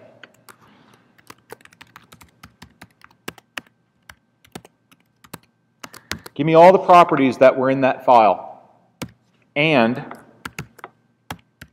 create a new one called SAM account name and populate it with whatever was in that stupid login field. There's that exact same syntax that I showed you earlier with both select object and format table. And here it's being put to a functional use. I'm using it to munge the object in the pipeline so that it will match what I need to do. Hopefully this will work, or at least give me an interesting error message. Woo. That suggests it worked. Get AD user minus filter all. There they are, Greg Shields, Chris Gannon, Don Jones. Uh, for those of you who are curious, did you notice another critical piece of information I omitted when I created those users? Say again? Uh, you don't actually need a UPN. How about a password? Will ADUC let you create a user with a password that is non-compliant? No, but Active Directory is fine with it. In fact, the actual rule is you can create users with blank passwords all day long. You just can't enable them if the password doesn't meet the password policy. So these users are actually disabled. And if I were to pull open the GUI, they would have the little down arrow icon indicating that they were disabled. And then you could, there is a parameter I could have used to set the password, but it's more fun to talk about it. This, though, demonstrates the power of PowerShell's pipeline. This, this is not a script. This is a one-liner. In VB script, this task would have taken 20, 30 lines of code. I can now add more attributes to this simply by putting them in the CSV file. I don't have to change my code at all, so long as I can convince HR to spell everything correctly. I could pull that information from a database, munge it with select object, and pipe it to new AD user. This is why I like to tell people PowerShell isn't a scripting language because it can do stuff like this. It contains a scripting language and can do much more. But you can start with it at a very, very basic level and work your way up as you need to. PowerShell has a huge learning curve, but it's a curve, and you can start at the bottom and be effective with it. You don't have to climb the entire hill before you can start doing useful stuff. Questions on how that works or why that works, or anybody want to mint or talk about restaurants?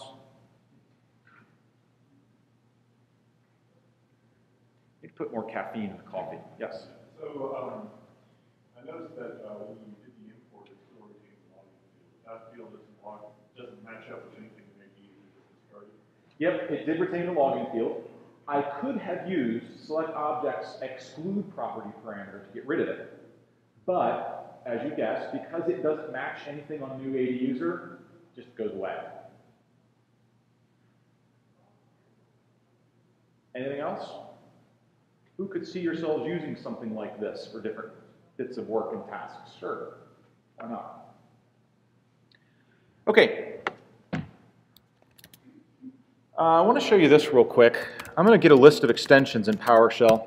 Uh, these are all the modules that are installed in my system, just so you can get an idea of what you can reach out and manage with PowerShell, keeping in mind that a lot, a lot, a lot of these are Windows 8, Windows Server 2012 modules. You're not going to find them on an older system, and given how long it's taking to run, that should give you a clue how many is going to show up in this list.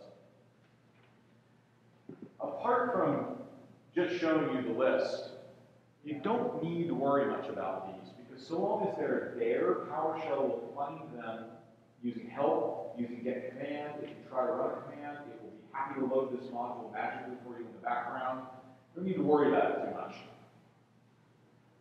The one thing that you might worry about though is this. How many of you have widely deployed Windows 8? Right? It. How, how, when was the last time you built your admin workstation? Back at work. Anybody do it recently? Like we're always having to rebuild the stupid things. How long did it take you? Um, three hours. Three hours? That's not too bad. You install your admin tools on it, your GUIs and everything else? Yeah, that's not that bad. It takes me like three days to get everything, uh, yeah, his head, yeah, three days. Uh, I asked a guy in class one time, I said, how long? He said, still working on it. But you get this version mismatch thing, don't you? Right? You want the Windows 8 tools, server 2008 tools, but you can't install those on anything except this. These tools can only go on this. Like we're supposed to run nine different operating systems to manage everything. Microsoft gets it, and they're fixing it. And they're fixing it through a technology called PowerShell Remoting, which is the next thing we're going to talk about. Remoting uses a technology, a, a protocol called WSMAN, uh, Web Services for Management. And that is implemented by a service called WinRM, Windows Remote Management. This is installed on any machine that has PowerShell installed. It comes with PowerShell. Version 2 of PowerShell can talk to version 3 and vice versa. Uh, when they first connect, even though there's some capability differences, they kind of do a little handshake process. Jeff, you guys know who Jeffrey Snover is? He's in the keynote uh, tonight, tomorrow night, sometime. He invented PowerShell. Uh, we were up on stage at TechEd, and he's describing this handshake. He says, it's like two dogs go to the park, and they kind of walk up to each other, and they sniff each other's butts, and they figure it out. And I'm like, wow, that's an image. and then I broke his mouse. Uh, great show. So WinRM is going to be on any machine that has PowerShell installed. How many of you have ever tried, how many of you have used WMON, first of all? Something like WMON. How about like remote registry editing with the GUI, anything like that? Okay? Those all use remote procedure calls, right? RPCs. Anybody ever get an RPC through a firewall? It's like squishing a, a kitten through cheesecloth. It's the most difficult, ugly thing in the world that nobody's happy at the end of the day. RPCs are really tough. They were invented well before firewalls, and they don't play well with them. Microsoft is discarding RPCs for administrative traffic. Instead, they're moving toward this. This uses a single port for all administrative traffic coming in or out of the computer. And the WSMAN protocol is based on HTTP. HTTP is easy to get through a firewall. One port by default, 5985. I'll show you can change that too if you want to. What is neat about HTTP is that you can turn it into HTTPS, which is encrypted. So if you've got a company that's a little security crazy, and they just like to encrypt everything nine times before they put it on the wire, they'll totally do it for you. PowerShell actually applies its own application level encryption already, but if you want to encrypt that and then maybe encrypt it again for fun, you can do it, HTTPS. So here's the basic setup for this. First of all, Windows Server 2012 comes with this turned on out of the box. And it has to be there because it's how you configure the server. Even if you walk up to the server console, load the management tools right there on the console, it still has to talk to itself via remoting to actually do anything. So there's no difference running the tool locally on the console versus running the tool remotely. So you might as well stay comfy at your desk, run it remotely. On other machines, you do have to turn this feature on. It's very difficult.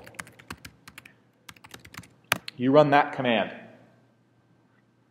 Now, who's excited about running around manually running that on all your computers? Yeah, I thought so.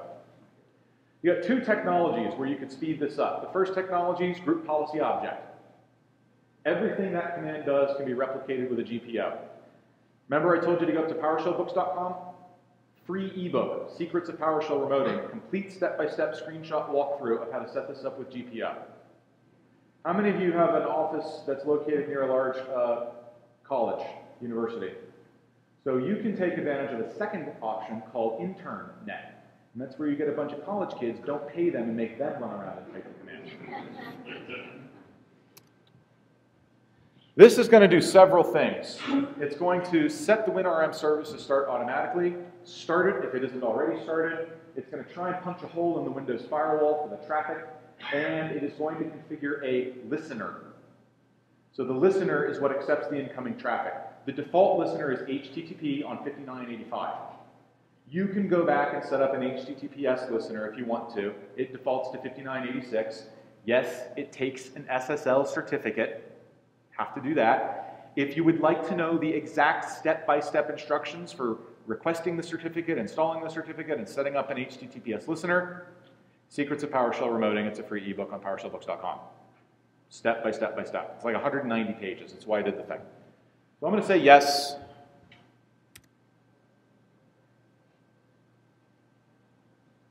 Yes. You have to say yes several times unless you want to say yes to all.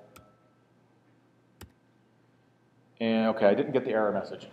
Um, if you do this on a client computer, you know how on Windows Vista and later, when you plug into a new network, it wants to know what kind of network it is, and it's either a, a work network or a public network or a, a home network.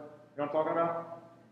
If you have any network adapters on the computer set to public, the command will fail because Windows Firewall will not allow you to create exceptions when you have a public network adapter. And as admins, the time you're most likely to see that, how many of you run a virtualization workstation app? Yeah. And it creates all those little fake network adapters, and they all get set to public. And so it'll fail. Version 3 of PowerShell, you can skip that with skip network profile check, and it'll do it anyway. So that's how to get around that. So remoting is now set up. That means I can talk to remote computers. For example, enter PS session, computer name, DC. Done. In a domain environment where all the computers, the one you're on, the one you want to talk to, where they're all either in the same domain or they are in domains that have a trust relationship, this will just work. Just work. It's like Apple made it. It's a. I don't know why they don't like Brendan. Um, you'll notice that the prompt has changed. It now tells me that I'm on a remote computer. If I was using HTTPS, so uh, enter PS session has a parameter called use SSL that will make it connect via SSL instead. So if I'm using that, then this is an encrypted session action. This is roughly our SSH. It's not exactly SSH. What happens when I run a command is it's going to take the command on my computer, ship it to the remote computer. The remote computer is going to run it, and it's going to ship the output back to my computer display. So I'm not actually typing on the remote computer. We have an asynchronous relationship with each other, but it's close enough for government work. So now that I'm here, I can run whatever, whatever commands I want to run. dir, process, kill, whatever else. Let's talk about, yes. Is the communication encrypted even if I don't use the SSL? Yeah, PowerShell applies its own application level encryption by default. You can shut that off if you want to, but that's the default. It just uses a shared secret. When you fire off an executable, does it have to be local or is it the target machine? If you tell it to execute an executable, the executable needs to live on the remote machine or be accessible to it. So it is going to get the string of text, and then it's going to parse it and try and run it. So it needs to be able to get to the program. If you try and run something graphical, oops, Notepad's running, but this isn't remote desktop, kids. You can't do that. So Control C will kill that process and give me my line back. Let's talk about security. Because this is where everybody likes to get real red about.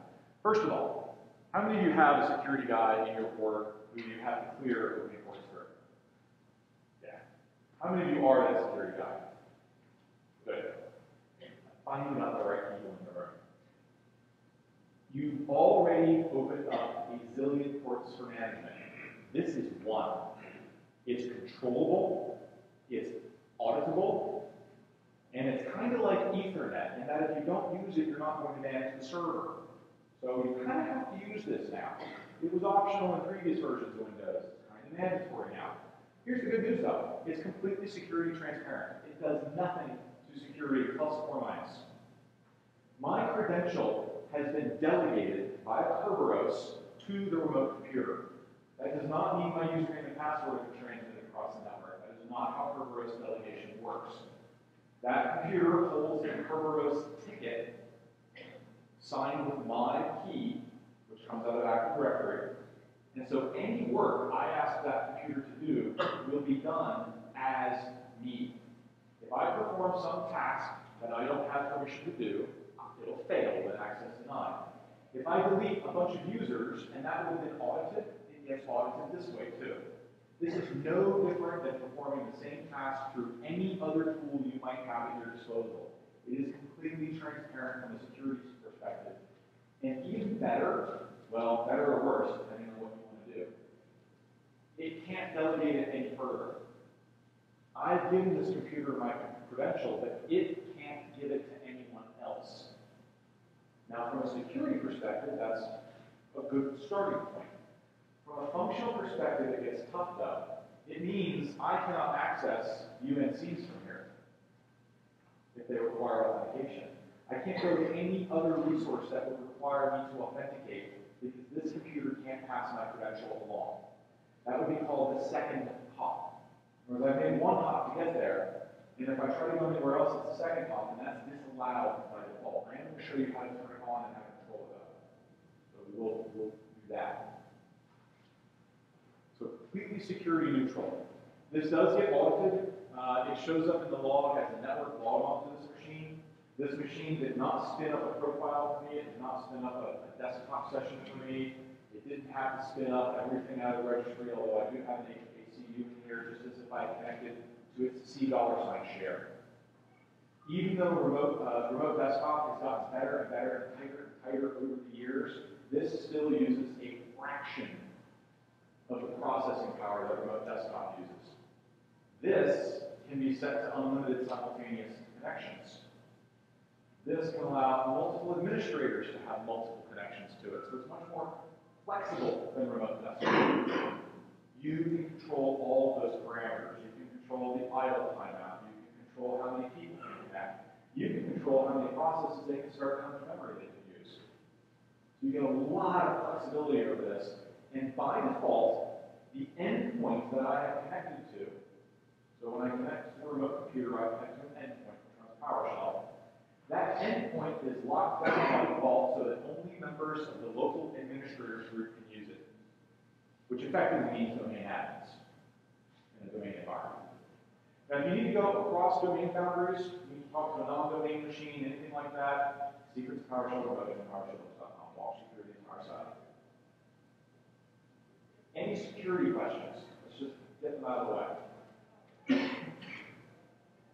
Really? Okay. Feels like a trick. So one-to-one remoting is what this is called because it's me on one computer talking to one other computer. Exit gets me home. Now I'm back at my computer prompt. There is a protocol called CredSSP. This is a new authentication protocol that was introduced in Vista. And if you want to be able to delegate your credential across a second hop, you use this command to do it. You run it first on your client computer, telling it it has the role client, and you specify the delegate computer. Typically, your delegate computer will be something like star.mydomain.com. In other words, I'm willing to delegate my credential to any authenticated computer in my domain. So you can use wildcards. Do not just use delegate computer star. That's stupid. It will make a lot of error messages stop happening.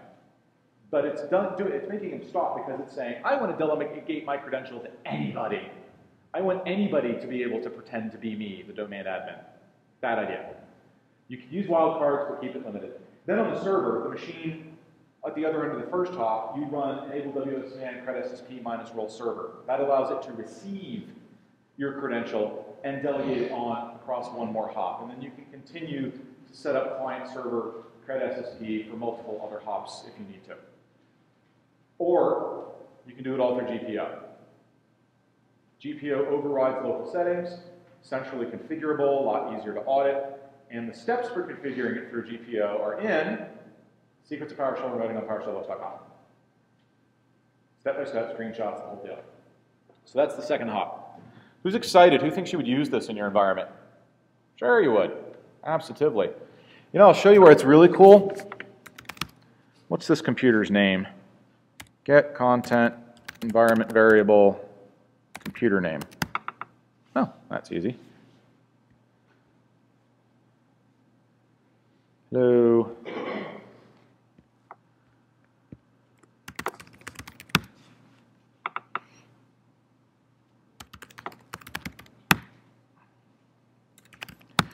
Let me show you why I think that uh, one-to-one remoting is really cool. And we're not going to use the server example. I've logged into my server because I, I, want to pretend that my client computer is actually sitting out on a user's desktop. How many of you have ever worked with or on a help desk? Isn't that just the worst? Because here's how it goes. Tell me if this is right. Help desk. Yep, yep, so your computer is going to sleep too often. Okay? Yep, no problem. Click the troubleshoot link. Okay, click next. Click the second radio button. Notice the little round one. Notice the second one. Oh, that'd be the one after that.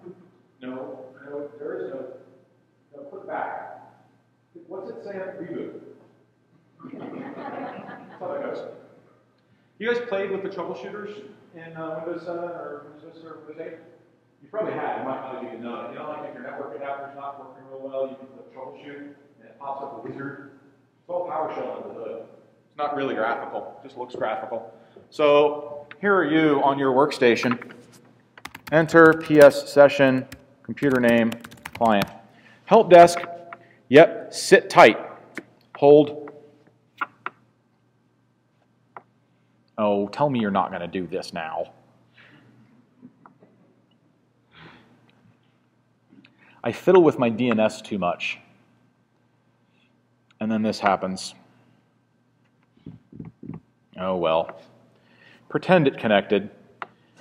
You're in. We're going to import a module called Troubleshooting Pack. Get Troubleshooting Pack. Windows, Diagnostics, System, Power. Invoke Troubleshooting Pack.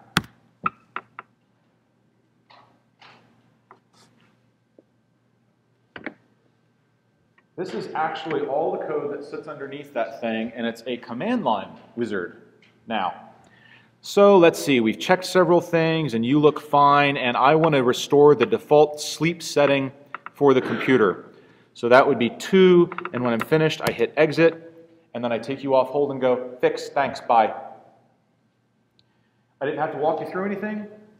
You didn't get to see what I did because it was all done behind the scenes. I didn't have to do a remote request. You didn't have to authorize me. It's not a personal computer, it's my computer. It's the company's computer, and I'm going to go in behind the scenes and fix stuff, and you're going to stop calling. Really useful technology, even on your client computers, assuming your DNS works. Now, that is kind of a trick. Um, to use remoting, you have to refer to the remote machine by its Active Directory computer name. No aliases, no IP addresses. And that's because it has to do mutual authentication. It's got to be able to look the machine up in Active Directory, and in order to do that, you need to use the right name. Now, if you do need to use an IP address or an alias, there is a way to do it. It involves either using SSL, because that provides the mutual authentication, or adding the remote machine to a special list called trusted hosts, which basically means you're not worried about mutual authentication, and there's no chance that it could be spoofed on you whatsoever. And if you needed to do those things, you would read about the steps to do so in Secrets of PowerShell Remoting on PowerShellBooks.com. Yeah, believe me, I took like a month and figured out every possible scenario. It's also got a huge chapter on troubleshooting, because uh, a lot of times, this is fun. Being an MVP is neat because sometimes we get to go up to Microsoft for a big summit, and we get to talk to the product team, and they ask us, seriously, what don't you like about the product? Don't tell us what you do like, tell us what you don't like. We said, we would like some better error messages, because the only error message that remoting seems to spit out is access denied, which makes troubleshooting a little tough, right? You know, there's eight moving pieces here. Version 3 is much better about that, by the way. So they said, you know what, no problem, we're going to to the developer. So they trot the developer in the room. She says, well, what error messages would you like to see better? All of them. How about anything but access denied? Well, you know, raised a very good point, which is that you know, if somebody gets their username wrong or, or, their password wrong, the error message is always username or password. You're not going to give someone a clue when it comes to breaking security. And that's kind of where they got through with remoting was we don't want to tell you what's wrong because we don't want crack the system. She said, but why don't you just use the diagnostics log? And we said, well, what? She said, oh, it's the PS diagnostics module. Huh? She said, yeah, it's on every machine. Just run import module PS Diagnostics. We're like, oh, all right, well, show me what's in there. Get command module PS Diagnostics. Oh, okay, so enabling traces. Great. Well, uh, I know, I know how to use PowerShell. I'm just going to read the help for this thing. Enable PS trace. Oh. Oh, well, that's not helpful. And she said, well, would you like to see a demo? Yes, please. And so they walked us through an entire demo of capturing all this trace information, and we got to walk through several failure scenarios so that we could see what those looked like in the log, so that we could recognize, ah, that's what the log looks like when this is broken. That's what the log like looks like when that is broken. And it's all screenshotted and captured for you in Secrets of PowerShell and PowerShell.com. Yeah. So there's a whole troubleshooting chapter in there for you as well. You're welcome. Who, uh, so again, who likes one-to-one remoting? Who thinks you can use this SSH-like thing? Yeah, sure. Here's what's better. Invoke command. Give me him, give me him, and run this.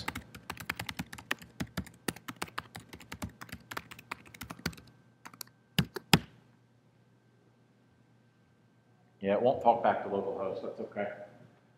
Probably because I stopped a bazillion services earlier. I should reboot. Anyway, invoke command is designed to take one or more computer names, as many as you want. Microsoft has tested this on around 25,000 computers, and then they ran out of computers. It will only talk to 32 simultaneously. That is its throttle limit. There is a parameter for it called minus throttle limit that lets you change that if you want to.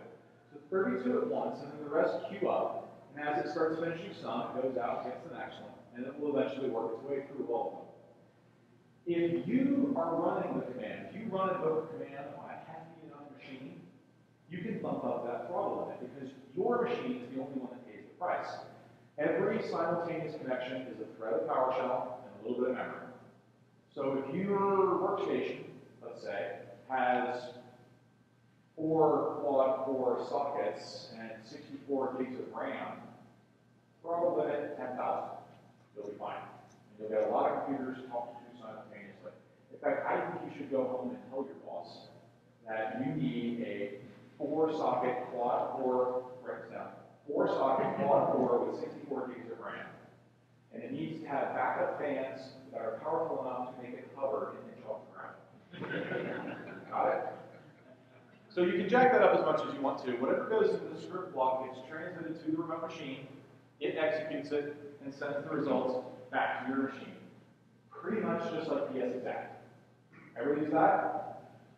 This is better because it's built in, it's free, and you can use it in a lot of different ways. You can have it use SSL if you want to. There's a nice SSL switch. You can use alternate ports if you've configured alternate ports. Whatever you want to do, it'll do it.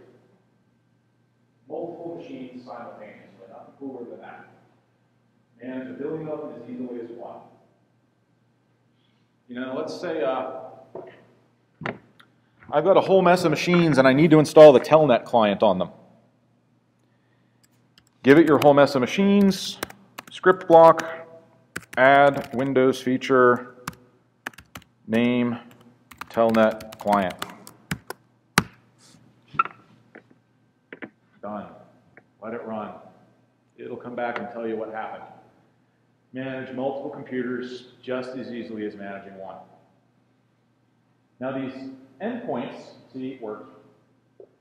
These endpoints that you connect to with this, um, I haven't specified an endpoint, so it's just connecting to the default Microsoft PowerShell endpoint. You can create custom endpoints. How many of you have ever had to create a tool that you distributed to maybe your help desk or to end users, and you needed to do something that they didn't have permission to do, and that you didn't particularly want to give them permission to do? You just wanted to give them a very constrained little tool to do some particular task. Ever happen? Watch this. You start by creating a new PS session configuration file. Let's just look at the help for it. You can have this configuration or this endpoint automatically pre-import specific modules, commands, and so forth. Modules to import and so on. You can shut off PowerShell scripting language so that whoever's dialed into this thing can't write scripts, they can just run commands. And regardless of what commands you import, you can make whatever you want actually visible. You can import 30 modules and only have 10 commands available inside this little configuration. Uh, you can have it do all sorts of locking down and restrictions with aliases and everything else. So this creates a file on disk. basically an INI file. And then you run register PS session configuration file to make the thing active. Here's the coolness. You can have an access control list on this. So you'll notice the parameter on here, uh, minus show security descriptor UI. It's right there. That'll pop up a security dialog, standard permissions dialog. That lets you decide who is allowed to dial into this thing. And then you can specify a minus run as credential. Meaning, regardless who's dialed into it, run every command as this credential instead. But they can only run the commands that you put in here. You can even remove parameters. You're going to run this one command, and you get these two parameters, and I'm going to hard code these five, and you can't change those, and you can't get to anything else. And it's going to run as a domain admin account, but only certain people are allowed in here, and you can only do this one thing. So you can set up declarative delegated administration this way.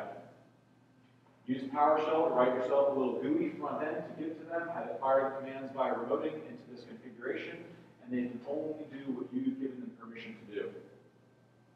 Cool, right? Would you like to see like a walkthrough example? Great, secrets of PowerShell remoting and PowerShell shutdown. I thought that. With the GUI. Um, yeah, kind of with the GUI bit, yeah. I don't walk you through creating the whole GUI.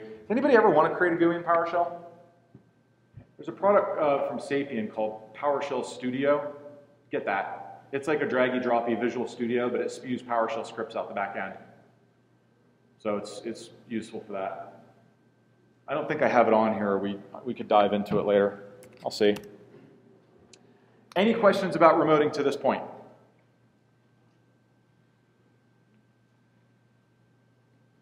Who thinks you might have trouble getting this going in your environment? Who can't wait to get home and set it up? Yeah, that's the right answer. This is the way forward. Windows Server 2012 actually has a few services that have been split into two, and you'll see legacy listeners. Um, in fact, let's see, GSV, name DC, no, just DC. Oops, computer name. The under maybe L, then maybe W.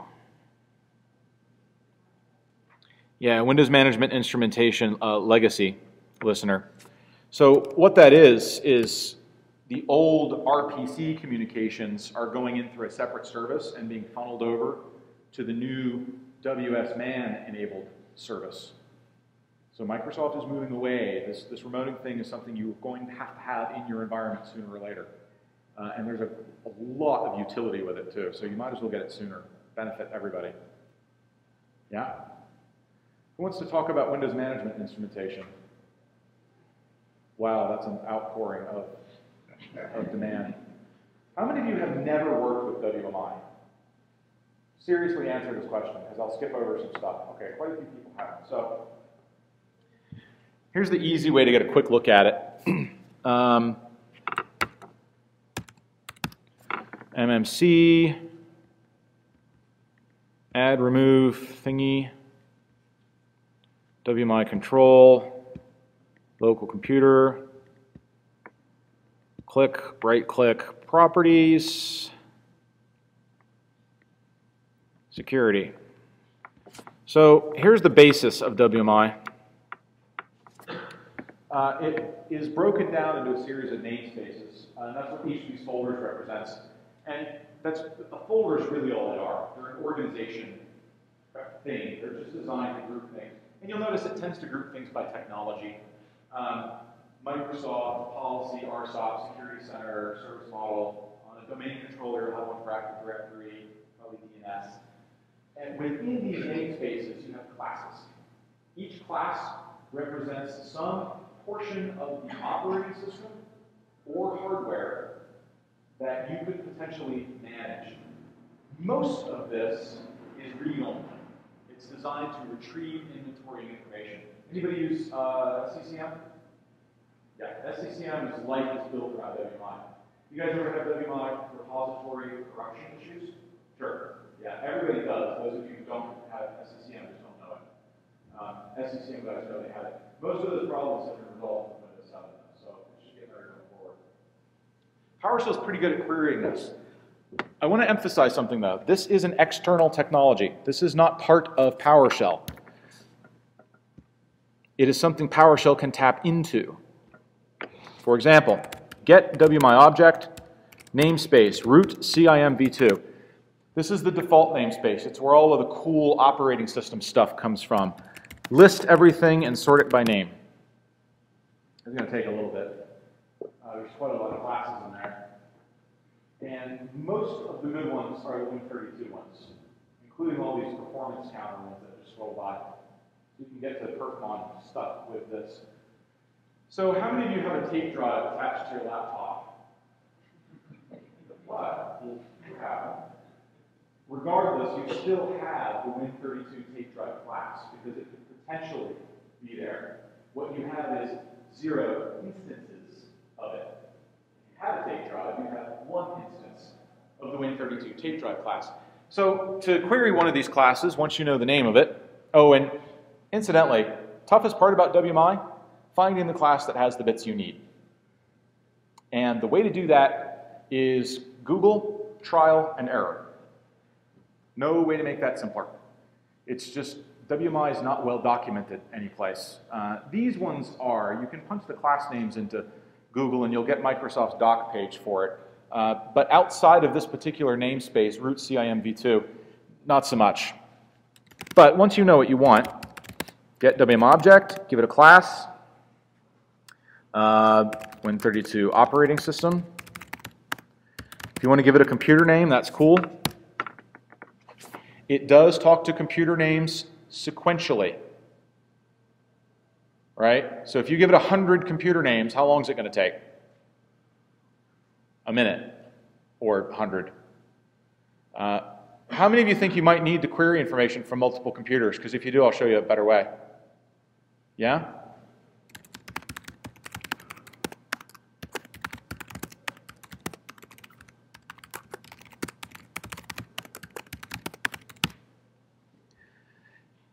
That can send the command out in parallel to multiple computers. They run it locally and send the information back to you. So it can run in parallel. Both techniques will spew an error message and keep going if one fails somewhere in the middle. So they will keep going. Uh, and then you can do lots of stuff to trap that and log it, and we'll, we'll get there this afternoon. Keep in mind that these things are just objects, so you can pipe them to get member and see that there's quite a lot of information available. Some of them will have methods.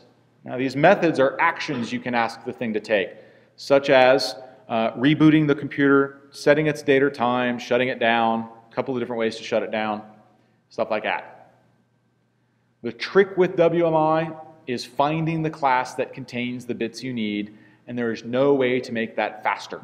It is just pure angst trial and error and searching and hoping that somebody else knows and will tell you. There is a new version of this. So WMI is built on a set of half-formed standards from the 90s. The fully formed standards are done and are referred to now as CIM.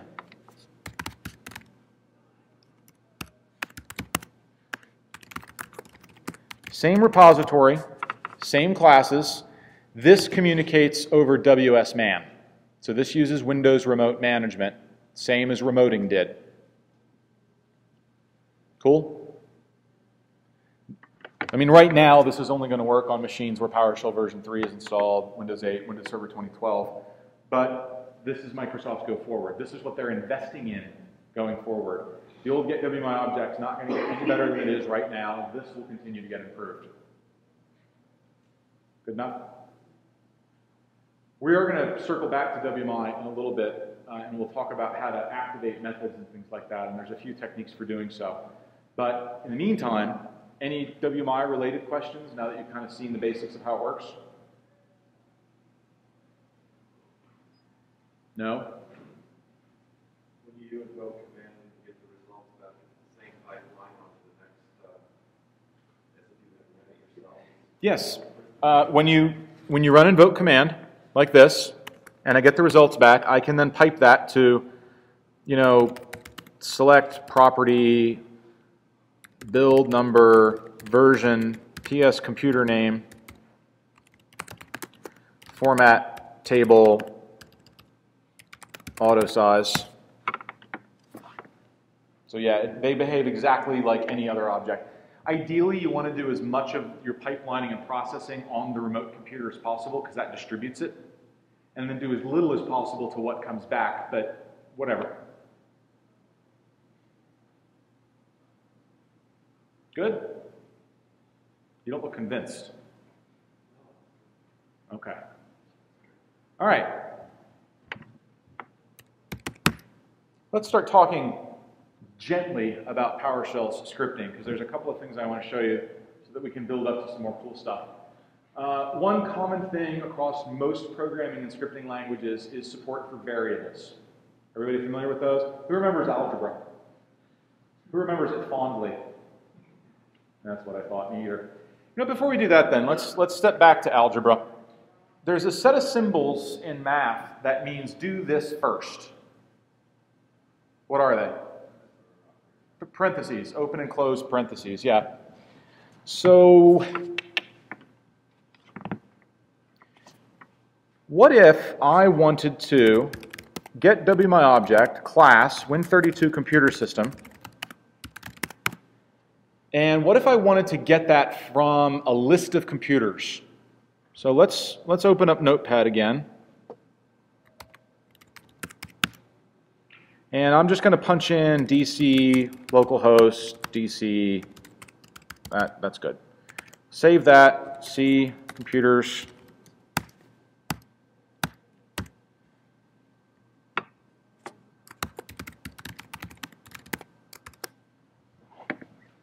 PowerShell's totally jiggy with parentheses.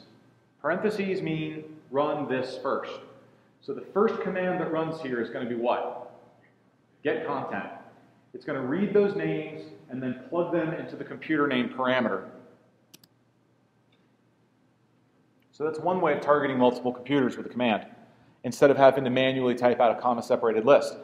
Now, how many of you have got text files that list computer names already? So, yeah, probably like a specific kind of computer, right? Like domain controllers or whatever else. Do you have anywhere else in your environment where you have like a big database of computer names? Active Directory. Sure. Get AD computer minus filter star. Get me all of them. I have a gigantic domain.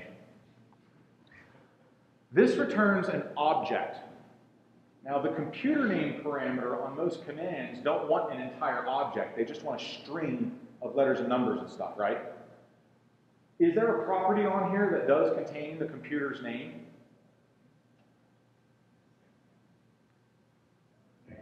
Name. Name's good. So I could do this then, right? Yeah? You can't feed that to a computer name parameter, though, because it's not a string. If you pipe that to GM, it's a selected AD computer object. If you look at the help file, most computer name parameters just want to see a string. This isn't a string. It's a whole object that just only has one property. There's a slightly different syntax you want to use. Notice the, whoops. Notice the difference in the output. When I used minus property, I had a name column with two values. When I use expand property, I just get the values. They're just strings now. I've, a better name for this would be extract, because that's what it's doing, is extracting the values out of the name property. And so now,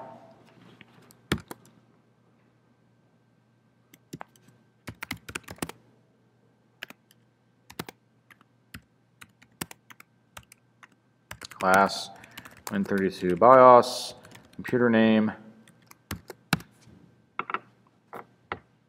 So that's another way of getting multiple computers and a really, really useful technique for extracting the contents of the property that has the information you need. So Now that we've covered parentheses part of variables, let's, uh, of algebra, let's talk about the variable part of algebra. That is a variable. Now this is a really, really, really, really, really important distinction that I'm about to ask you to make. And I'm going to demonstrate it, but I ought to say it a couple times. The variable name is A. The dollar sign is not part of the variable's name. If you think of a variable as a box with A written on it, A by itself refers to the box. Dollar sign A means open the box and get what's inside. You see the difference? There's the contents of the box and there's the box itself. For example,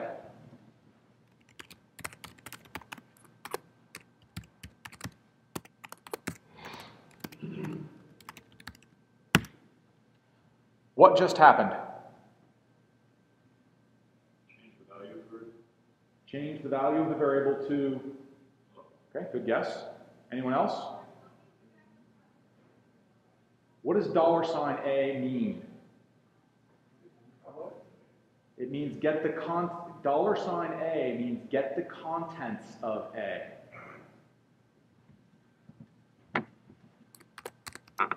Contents of A is 5. I created a variable called 5.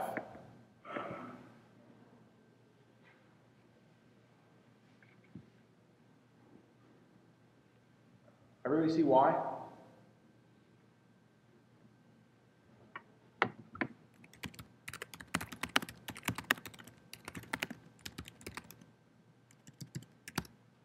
That created a variable named x.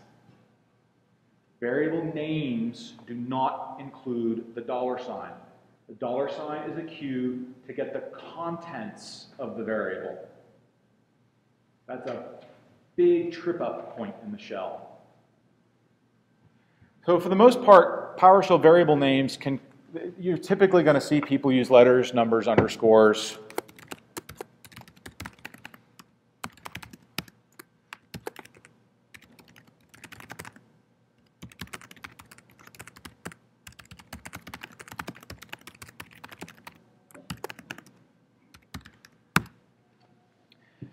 Provided you enclose the variable name in curly brackets, a variable name can contain anything but more curly brackets. I do not think this is a good idea. I do not recommend it to you, but you will see it. People do it. And you would access that just by typing the entire thing.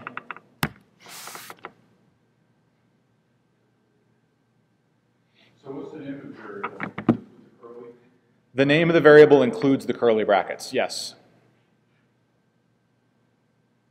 And if you look at the variable disk drive, you'll see it there.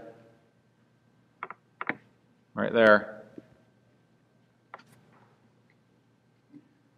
Now, I just told you that PowerShell keeps its variables in a disk drive. How would I permanently remove a variable? What would be the command? What's the command to permanently remove a file from the file system? Del. How would I permanently remove a variable? Del. Because it's just a disk drive. Do you think it's going to let me delete one of these built-in variables? Yes, totally. But it's not permanent. Those things get reconstructed every time you open up a new shell. There's no persistence between shell sessions.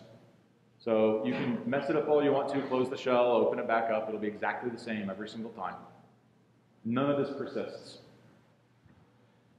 Okay, now for the fun stuff.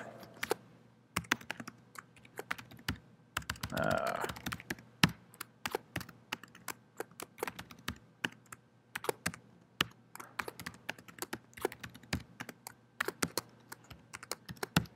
you guys see the difference between those two commands?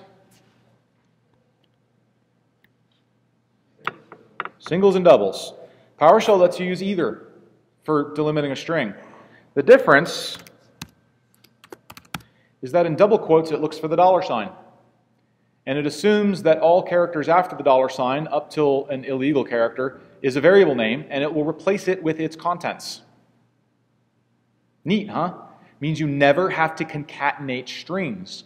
You can just jam variables right into double quotes, and create strings, and it's much easier to look at. Variables can contain more than one thing.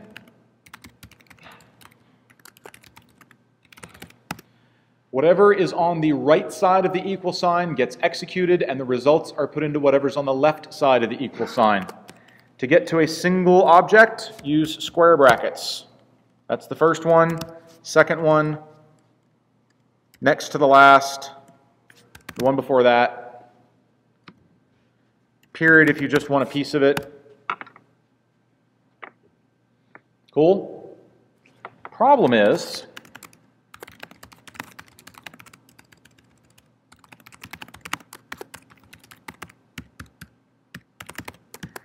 that won't work.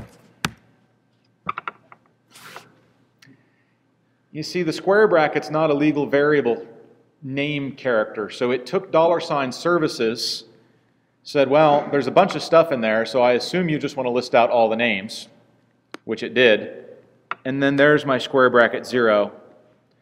So the solution for that is not string concatenation, it's called a sub-expression, which starts with a dollar sign and puts the entire thing in parentheses.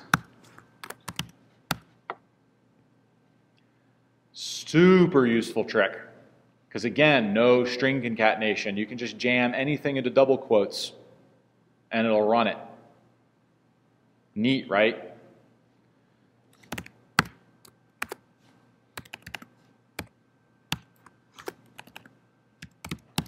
What type of information is in X? This is not a trick question. It's a number, an integer, a whole number. What type of information is in Y? String. So what is the result? Error. Ha! You don't know PowerShell.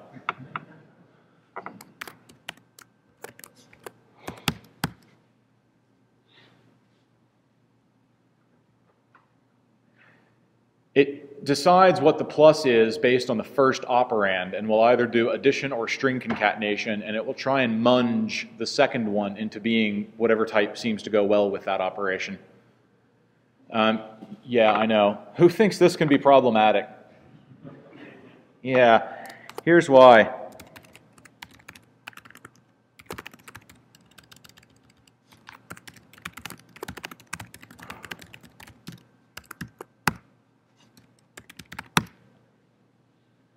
right? Now, at some point, this is going to go badly in my script, isn't it? But it's not going to be at a point where it makes sense because the actual error will have occurred right here. So here's what you can do instead.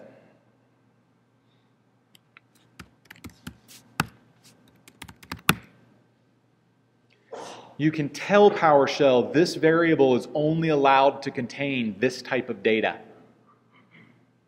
And it will honor that until you manually change it.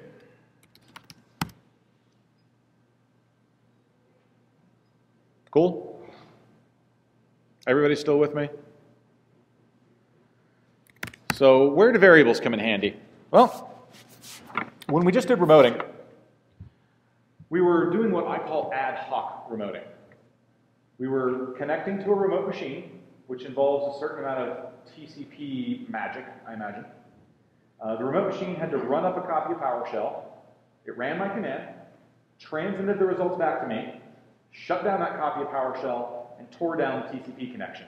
So some overhead there, setup, cleanup. What if I was wanted, wanting to hit the same machine with multiple commands in a row? Kind of a lot of overhead. Wouldn't it make more sense to establish a connection and lead it up? Sure. This is called PS session.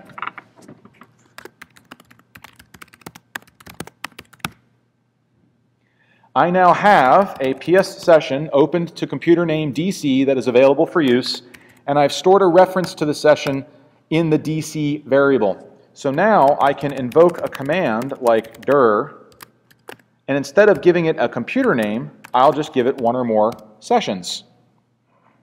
Once it's finished, my session remains up and available. Now, you want to see something awesome that version 3 does? Let's say I need to go over to another computer now, but I want to leave this up and running.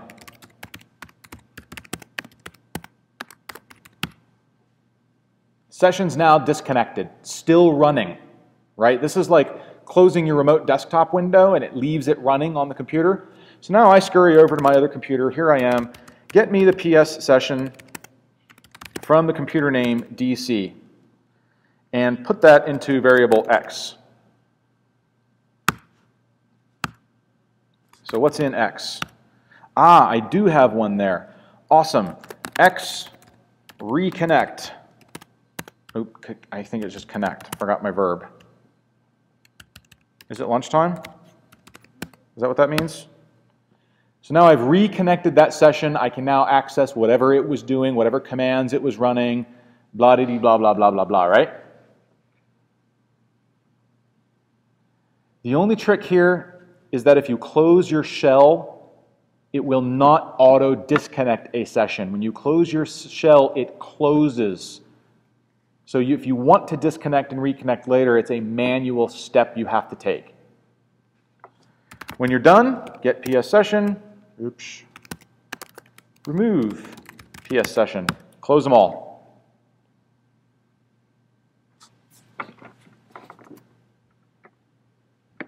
Good? Yes?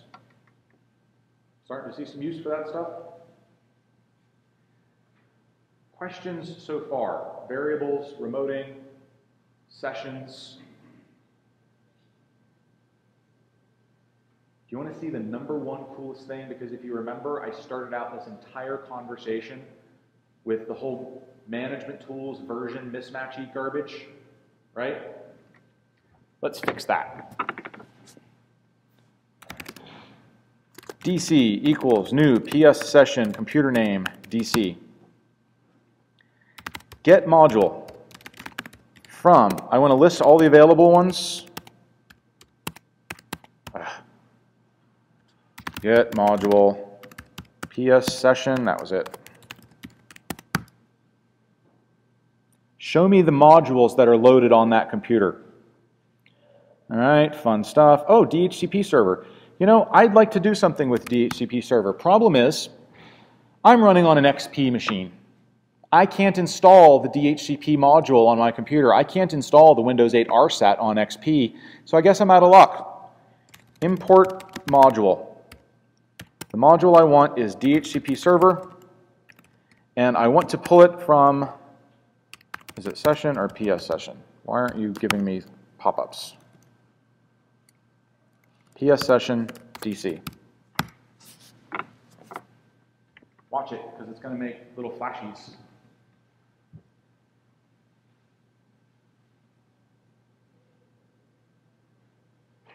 It just constructed a local fake-out module called DHCP.